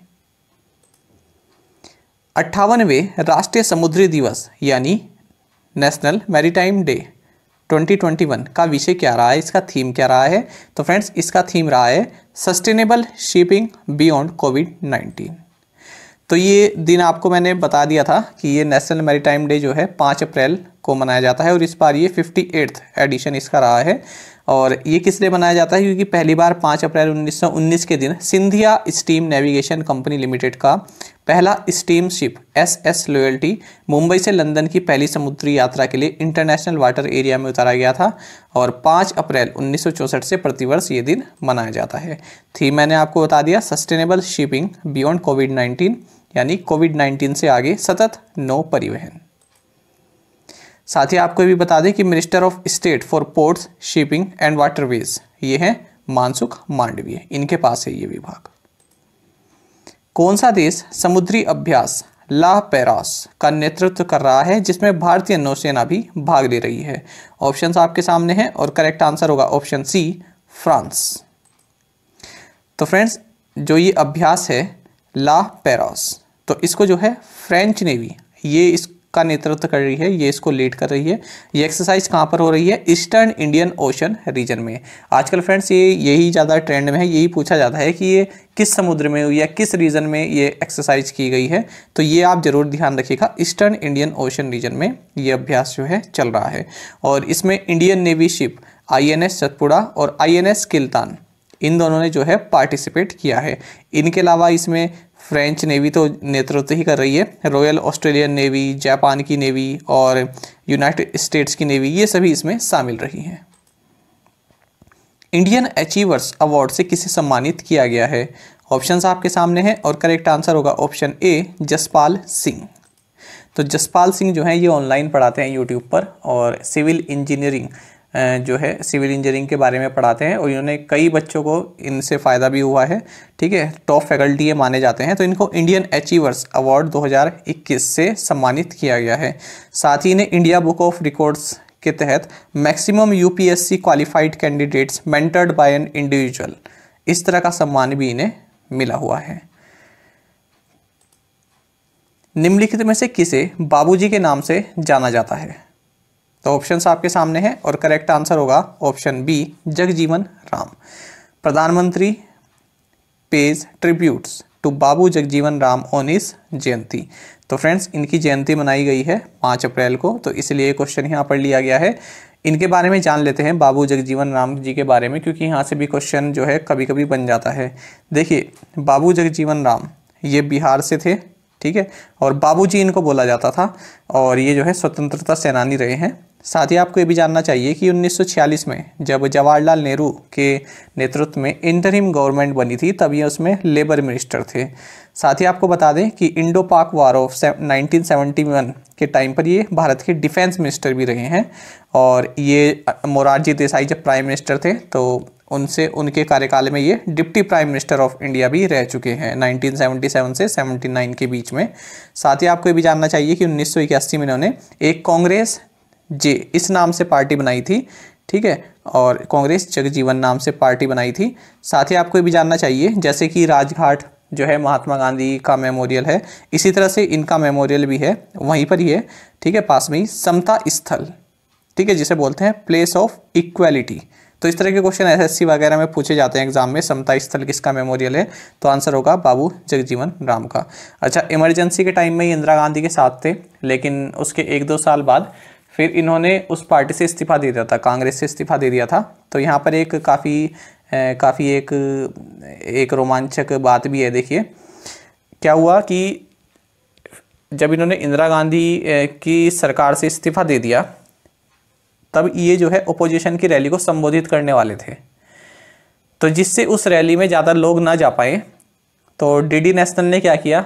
उस वक्त काफ़ी, उस वक्त क्या आज भी एक काफ़ी ब्लॉकबस्टर मूवी रही है बॉबी तो फ्रेंड्स बॉबी मूवी जो है डीडी नेशनल ने ब्रॉडकास्ट कर दी। ठीक है? क्यों कर दी? ताकि लोग जो है उस मूवी को देख लें। अब ये तो इतना पुराना, पहले का ज़माना था तो टीवी पर अगर इतनी ब्लॉकबस्टर मूवी आ रही है तो लोग ऑब्वियस सी बात है कि देखेंगे ही उसको। तो फ्रेंड्स ये वाली मूवी जो है उन्होंने ब्रॉडकास्ट कर दी। ठीक है? ताकि इनकी रैली में जो है लोग ना जा सकें क्राउड ना जा सकें। लेकिन फ्रेंड्स इन, इनकी जो है, इनकी फ़ैन फॉलोइंग इतनी थी, लोग इनसे इतने जुड़े हुए थे कि भारी संख्या में जो है यहाँ पर लोग इकट्ठा हुए। और फिर अगले दिन जो है न्यूज़पेपर में हेडलाइन भी बनी कि बाबू बीट्स बोबी तो इस तरह की घटनाएँ पहले भी हुआ करती थी और आज भी हुआ करती हैं और आगे भी होती रहेंगी। ठीक है, ये सब चलता रहता है पॉलिटिक्स में। आगे बढ़ते हैं। छोटी बचत योजनाओं में किस राज्य का योगदान सबसे अधिक है? Which state contribute which state contributes highest to small savings schemes तो फ्रेंड जो स्मॉल सेविंग्स स्कीम्स होती हैं तो इसमें किस राज्य का योगदान सबसे अधिक है? काफ़ी इंपॉर्टेंट क्वेश्चन है और आंसर होगा ऑप्शन सी वेस्ट बंगाल देखिए स्मॉल सेविंग्स स्कीम क्या क्या है?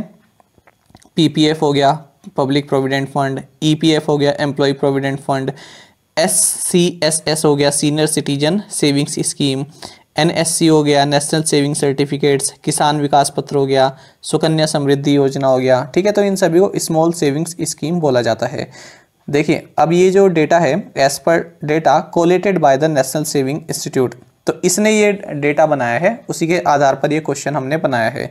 कोलेटेड कोलेटेड का मतलब होता है इन्फॉर्मेशन को कलेक्ट करना, ठीक है? उसको प्रॉपर तरीके से असेंबल करना या फिर कंपेयर करना उस डेटा को किसी दूसरे डेटा के साथ, ठीक है? तो इसको बोलते हैं कोलेट तो देखिए, इसमें क्या कहा गया है कि वेस्ट बंगाल जो है स्मॉल सेविंग स्कीम के तहत सबसे ज़्यादा जो है अमाउंट कलेक्ट करता है। कितनी? नब्बे हज़ार करोड़ रुपए ये कलेक्ट करता है। वेस्ट बंगाल की यहाँ पर बात की जा रही है। ठीक है, और इसके बाद दूसरे नंबर पर है उत्तर प्रदेश, तीसरे पर है महाराष्ट्र, और चौथे नंबर पर है गुजरात। साथ ही फ्रेंड्स ये रिपोर्ट देखिए, कोई ऐसी वैसी ही किसी ने रिपोर्ट जारी नहीं की है। ये नेशनल सेविंग्स इंस्टीट्यूट ने रिपोर्ट जारी की है, जो कि डिपार्टमेंट ऑफ़ इकोनॉमिक अफेयर्स के अंतर्गत एक संस्थान है। ठीक है तो ये क्वेश्चन आपके लिए काफ़ी इंपॉर्टेंट है। साथ ही आपको बता दें कि स्मॉल सेविंग्स स्कीम फ्रेंड्स ये क्या होती है? एक लॉन्ग टर्म फंड्स होते हैं गवर्नमेंट के लिए। ठीक है? इसमें क्या होता है? लॉक इन पीरियड होता है, यानी लॉक इन पीरियड का मतलब क्या हो गया? आप स्मॉल सेविंग्स स्कीम में जब इन्वेस्ट कर रहे हैं तो एक टाइम पीरियड होता है, ठीक है? उसी के बाद आप अपना इन्वेस्टमेंट जो है विड्रॉ कर सकते हैं। तो अब उसमें मनी जो है, काफ़ी इकट्ठी हो जाती है। तो उसका यूज़ क्या होता है? गवर्नमेंट अपना जो फ़िज़िकल डिफिसिट है, उसको फाइनेंस करने के लिए, उसको, उसका जो गैप है, उसको कम करने के लिए यूज़ करता है। फ़िज़िकल डिफिसिट मतलब कि गवर्नमेंट का जो रेवेन्यू है, वो तो कम है, लेकिन एक्सपेंडिचर जो उसका खर्च है, वो ज़्यादा है। ठीक है? तो इसके लिए गवर्नमेंट जो है, इन स्मॉल सेविंग्स स्कीम के तहत जो फंड होता है, उसको यूज़ करती है। आगे बढ़ते हैं। किस संस्थान ने वर्ल्ड इन 2030 सर्वेक्षण रिपोर्ट जारी की है? तो ऑप्शंस आपके सामने हैं और करेक्ट आंसर होगा ऑप्शन डी यूनेस्को तो यूनेस्को यानी united nations educational scientific and cultural organisation इसने the world in 2030 survey report जारी की है। तो इसमें इन्होंने कई लोगों से जो है अलग अलग उनसे अपने, उनके मत जानने चाहे हैं। तो इसमें इस रिपोर्ट में इन्होंने कहा है कि जो सबसे बड़ा चैलेंज है, मोस्ट सिलेक्टेड चैलेंज जो है, जो चुना गया है, वो है क्लाइमेट चेंज और बायोडाइवर्सिटी लॉस। और साथ ही इन्होंने ये बताया कि इन सभी, जो भी चैलेंजेस हैं हमारे सामने, इन सभी का अगर एक सोल्यूशन जो लोगों ने बताया है, वो सोल्यूशन बताया है एजुकेशन। ठीक है? तो सही है। और एजुकेशन होनी चाहिए इन सभी क्लाइमेट चेंज के बारे में अगर आप एजुकेटेड हैं तो इससे निपटा जा सकता है, ठीक है? लॉस ऑफ़ बायोडाइवर्सिटी ठीक है? तो ये इसके लिए भी आपके लिए एजुकेशन काफ़ी ज़रूरी है। आगे बढ़ते हैं। यूनेस्को की बात करें तो हेडक्वार्टर्स पेरिस फ्रांस में है और इसके डायरेक्टर जनरल हैं ऑड्रे ओजूले अंतर्राष्ट्रीय अंतरात्मा दिवस, यानी इंटरनेशनल डे ऑफ़ कंसाइंस ये किस दिन मनाया जाता है? तो ये फ्रेंड्स, पाँच अप्रैल को मनाया जाता है। और इस बार इसका थीम रहा है promoting peace and love throughout the world भारतीय रेलवे ने वित्तीय वर्ष 2020-21 में सबसे अधिक रूट विद्युतीकरण हासिल किया है, यानी रूट्स का इलेक्ट्रिफिकेशन किया है। यह 2019-20 में हासिल विद्युतीकरण की तुलना में कितने प्रतिशत अधिक है? तो फ्रेंड्स, ये सैंतीस प्रतिशत अधिक है। तो देखिए रेलवे मिनिस्ट्री की ओर से कहा गया है कि 2020-21 जो फाइनेंशियल ईयर है, इसमें हमने 6015 रूट किलोमीटर्स का इलेक्ट्रिफिकेशन किया है, जो कि 2019-20 की तुलना में सैंतीस प्रतिशत ज़्यादा है। साथ ही आपको भी जानना चाहिए कि इंडियन रेलवेज का टारगेट है कि इसके जितने भी ट्रैक्स हैं, उन्हें फुली इलेक्ट्रीफाई किया जाएगा कब तक? दिसंबर 2023 तक। तो इस तरह के टारगेट आपके एग्ज़ाम पॉइंट ऑफ़ व्यू से काफ़ी इंपॉर्टेंट रहते हैं। साथ ही आपको ये भी जानना चाहिए कि वेस्टर्न सेंट्रल रेलवे ये हाल ही में पहला जो है फुली इलेक्ट्रीफाइड रेलवे जोन बन गया है। इसे हमने एमसीक्यू फॉर्मेट में भी डिस्कस किया था, है ना? आप लोगों को याद होगा। तो यहाँ से आप रिवाइज भी कर लीजिएगा इसको। वजोसा उस्मानी किस देश की राष्ट्रपति बनी है? ऑप्शंस आपके सामने हैं और करेक्ट आंसर होगा ऑप्शन बी कोसोवो तो कोसोवो की राष्ट्रपति बनी है और उन्होंने किसे रिप्लेस किया है? हासिम ताची को।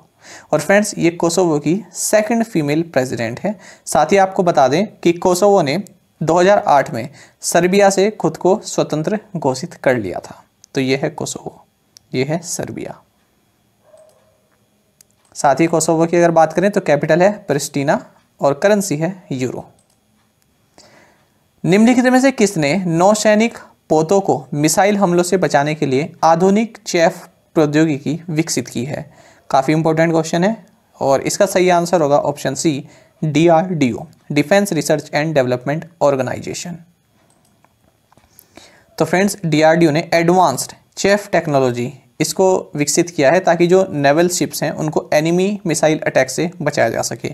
और इसी टेक्नोलॉजी पर बेस्ड डिफेंस लेबोरेटरी जोधपुर ने जो है, तीन वेरिएंट भी जो है, जारी किए हैं। एक तो short range chaff chaff rocket medium range chaff rocket और लॉन्ग रेंज चैफ रॉकेट, इन्हीं को विकसित किया है। देखिए फ्रेंड्स, ये आप देख रहे हैं, ये एयरक्राफ्ट है और ये आप यहाँ से देख रहे हैं लाइट, है ना? तो ये क्या है? ये जो है एल्यूमिनियम या फिर जिंक की स्ट्रिप्स हैं, ठीक है? उनको रिलीज़ किया जा रहा है एयरक्राफ्ट की, एयर एयरक्राफ्ट के द्वारा। तो इससे क्या होता है, जो रेडार होती है, किसी मिसाइल की जो रेडार होती है, वो कन्फ्यूज़ हो जाती है। जब एयरक्राफ्ट इस तरह की लाइट छोड़ता है, इस तरह की एल्यूमिनियम या फिर जिंक्स के जो स्ट्रिप्स हैं, इनको छोड़ता है। तो उससे क्या होता है रेडार के रेडार के जो रेडार का जो एरिया है, उसमें नहीं आ पाता है। रेडार खुद कंफ्यूज हो जाती है, ठीक है? तो इससे क्या होता है मिसाइल अटैक से एयरक्राफ्ट बच जाता है। तो यहाँ पर देखिए, ये कोई नवल शिप है या बोट है, कह सकते हैं, ये ऊपर एयरक्राफ्ट है। ठीक है? तो इसने जो है, ये एल्यूमिनियम, जिंक की जो स्ट्रिप्स होती हैं, इनको रिलीज़ कर दिया है। तो इससे क्या होगा? कोई भी मिसाइल आ रही होगी तो उसके रेडार में नहीं आ पाएगा, क्योंकि इतने सारे टारगेट उसके सामने बन गए हैं तो उससे क्या है? वो विचलित हो जाती है। तो इसी तरह की टेक्नोलॉजी विकसित की है डीआरडीओ ने। डॉक्टर भीमराव अंबेडकर की 130वीं जयंती के उपलक्ष्य में केंद्र सरकार ने किस दिन सार्वजनिक अवकाश की घोषणा की है? यानी पब्लिक हॉलीडे की घोषणा की है। ऑप्शंस आपके सामने हैं और करेक्ट आंसर होगा ऑप्शन डी 14 अप्रैल।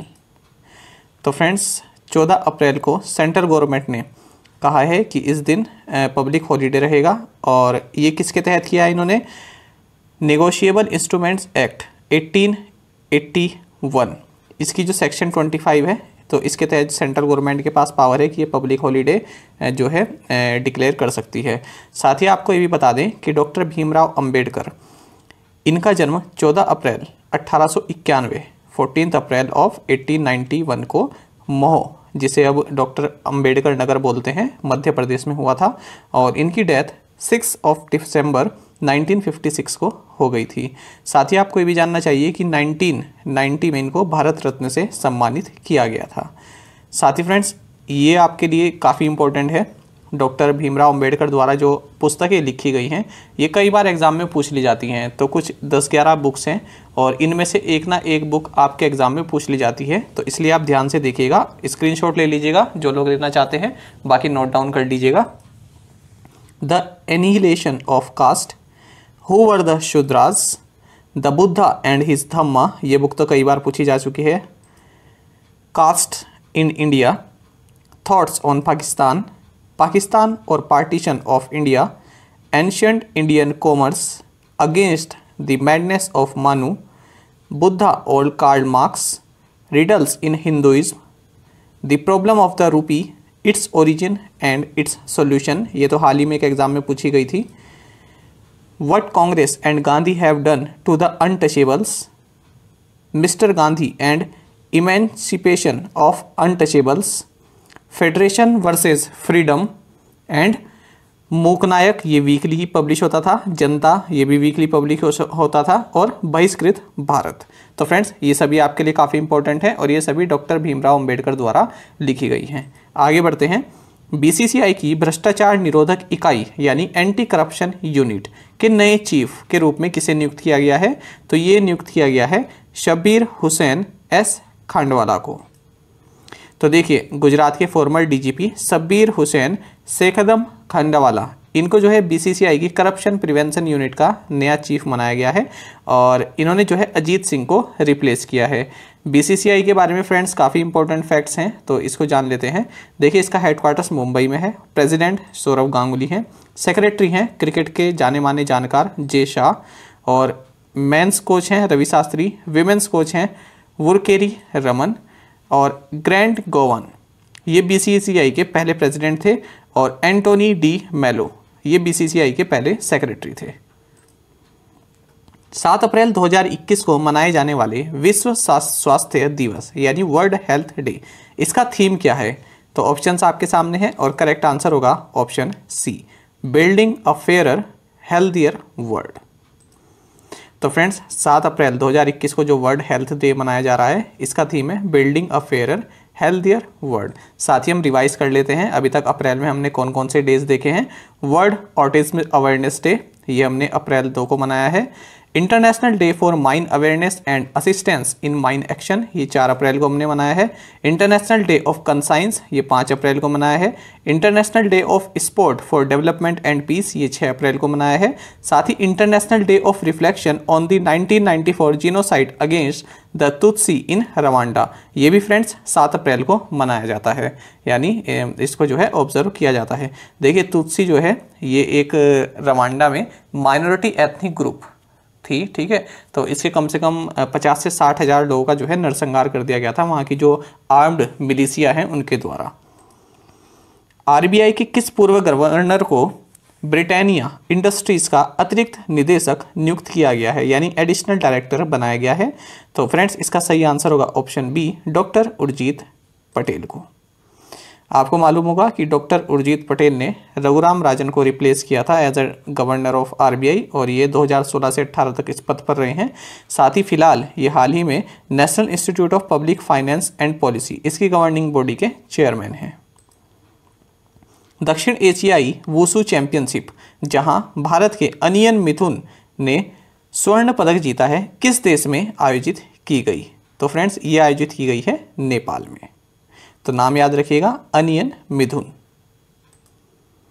तो फ्रेंड्स, इन्होंने सत्तर के कैटेगरी में जो है भारत को रिप्रेजेंट किया और ये जो साउथ एशियन वुसु चैंपियनशिप हुई, ये काठमांडू, नेपाल में हुई है।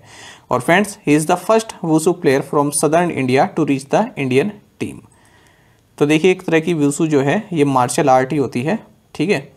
जैसे ये है ताइक्वांडो है आईकिडो है, सैम्बो, कुंगफू, ये रेसलिंग है, सुमो, ठीक है? तो इसी तरह से ये मार्शल आर्ट होती है, वूसू। भारत के अड़तालीसवें मुख्य न्यायाधीश के रूप में किसे नियुक्त किया गया है? तो फ्रेंड्स, इसका सही आंसर होगा ऑप्शन डी, नुथालापति वेंकटा रमना। तो फ्रेंड्स, ये बनाए गए हैं और प्रेसिडेंट ऑफ़ इंडिया के द्वारा इनको अपॉइंट किया गया है, ठीक है? किसके तहत? आर्टिकल 124 के तहत प्रेसिडेंट को ये पावर है कि ये जो है चीफ जस्टिस ऑफ़ इंडिया इनको नियुक्त करते हैं। और फ्रेंड्स, ये अड़तालीसवें चीफ जस्टिस ऑफ़ इंडिया रहेंगे और ये 26 अगस्त 2022 को रिटायर होंगे।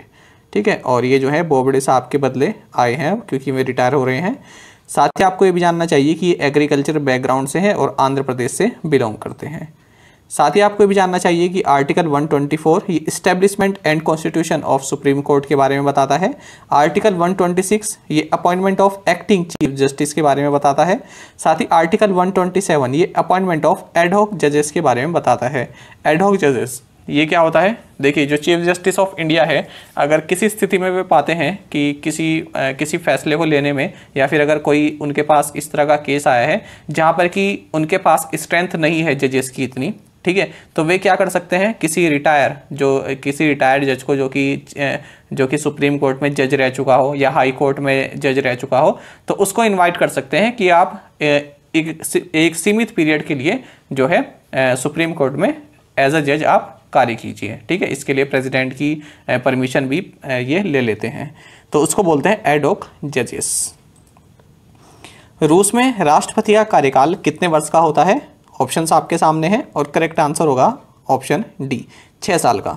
तो ये क्वेश्चन इसलिए लिया गया है क्योंकि देखिए, Russian president Vladimir Putin signs law allowing him to stay in power till 2036 देखिए, रशियन प्रेसिडेंट व्लादिमीर पुतिन ने एक लेजिस्लेशन को अप्रूव कर दिया है, जिसके तहत अब वे 2036 तक कम से कम जो है अब रशिया के प्रेसिडेंट बन सकते हैं।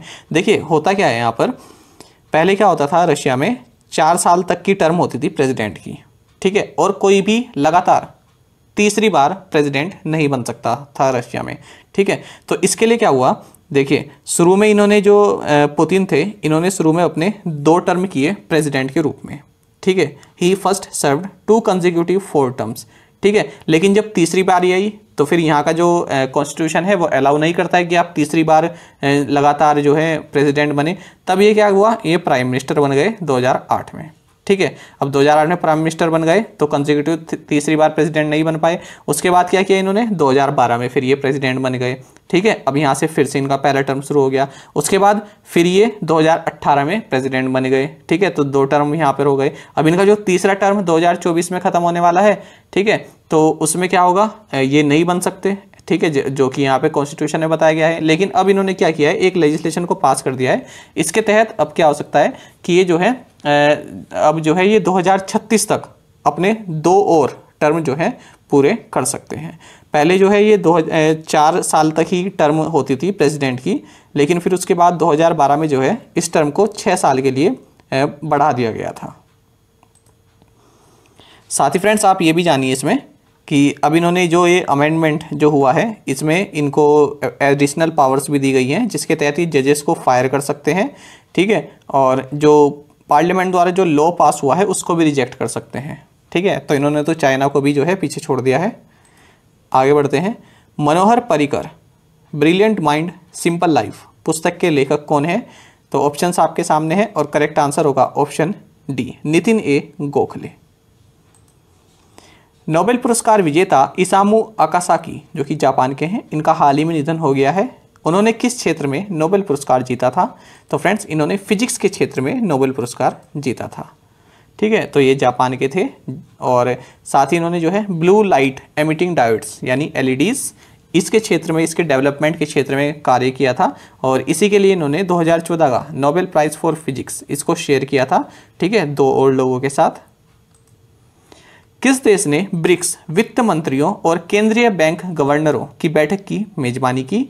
तो ऑप्शन आपके सामने हैं और करेक्ट आंसर होगा option A India India host first meeting of BRICS finance ministers and central bank governors तो फ्रेंड्स इसमें जो हमारी फाइनेंस मिनिस्टर हैं, निर्मला सीतारमन, इन्होंने और रिज़र्व बैंक ऑफ़ इंडिया के गवर्नर जो हैं, शक्तिकांत दास, ठीक है? इन्होंने भी इसमें पार्टिसिपेट किया है। ब्रिक्स मतलब Brazil, Russia India China and South Africa centre for innovations in public system centre for innovation in public systems C I P S जो कि हाल ही में खबरों में रहा, ये कहाँ पर स्थित है? तो फ्रेंड्स ये स्थित है हैदराबाद में। और ये भी देखिए an autonomous centre of administrative staff college of India establish by the government of India तो ये किस लिए खबरों में रहा?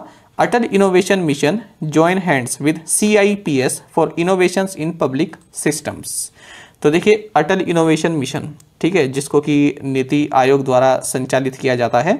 तो इन्होंने centre for innovations in public systems जो कि हैदराबाद में स्थित है तो इसके साथ पार्टनरशिप की है, ठीक है? और उसी के लिए अटल इनोवेशन मिशन यानी कि इनोवेशन के लिए अलग अलग टेक्नोलॉजीज़ जो है चालू करने के लिए, ठीक है?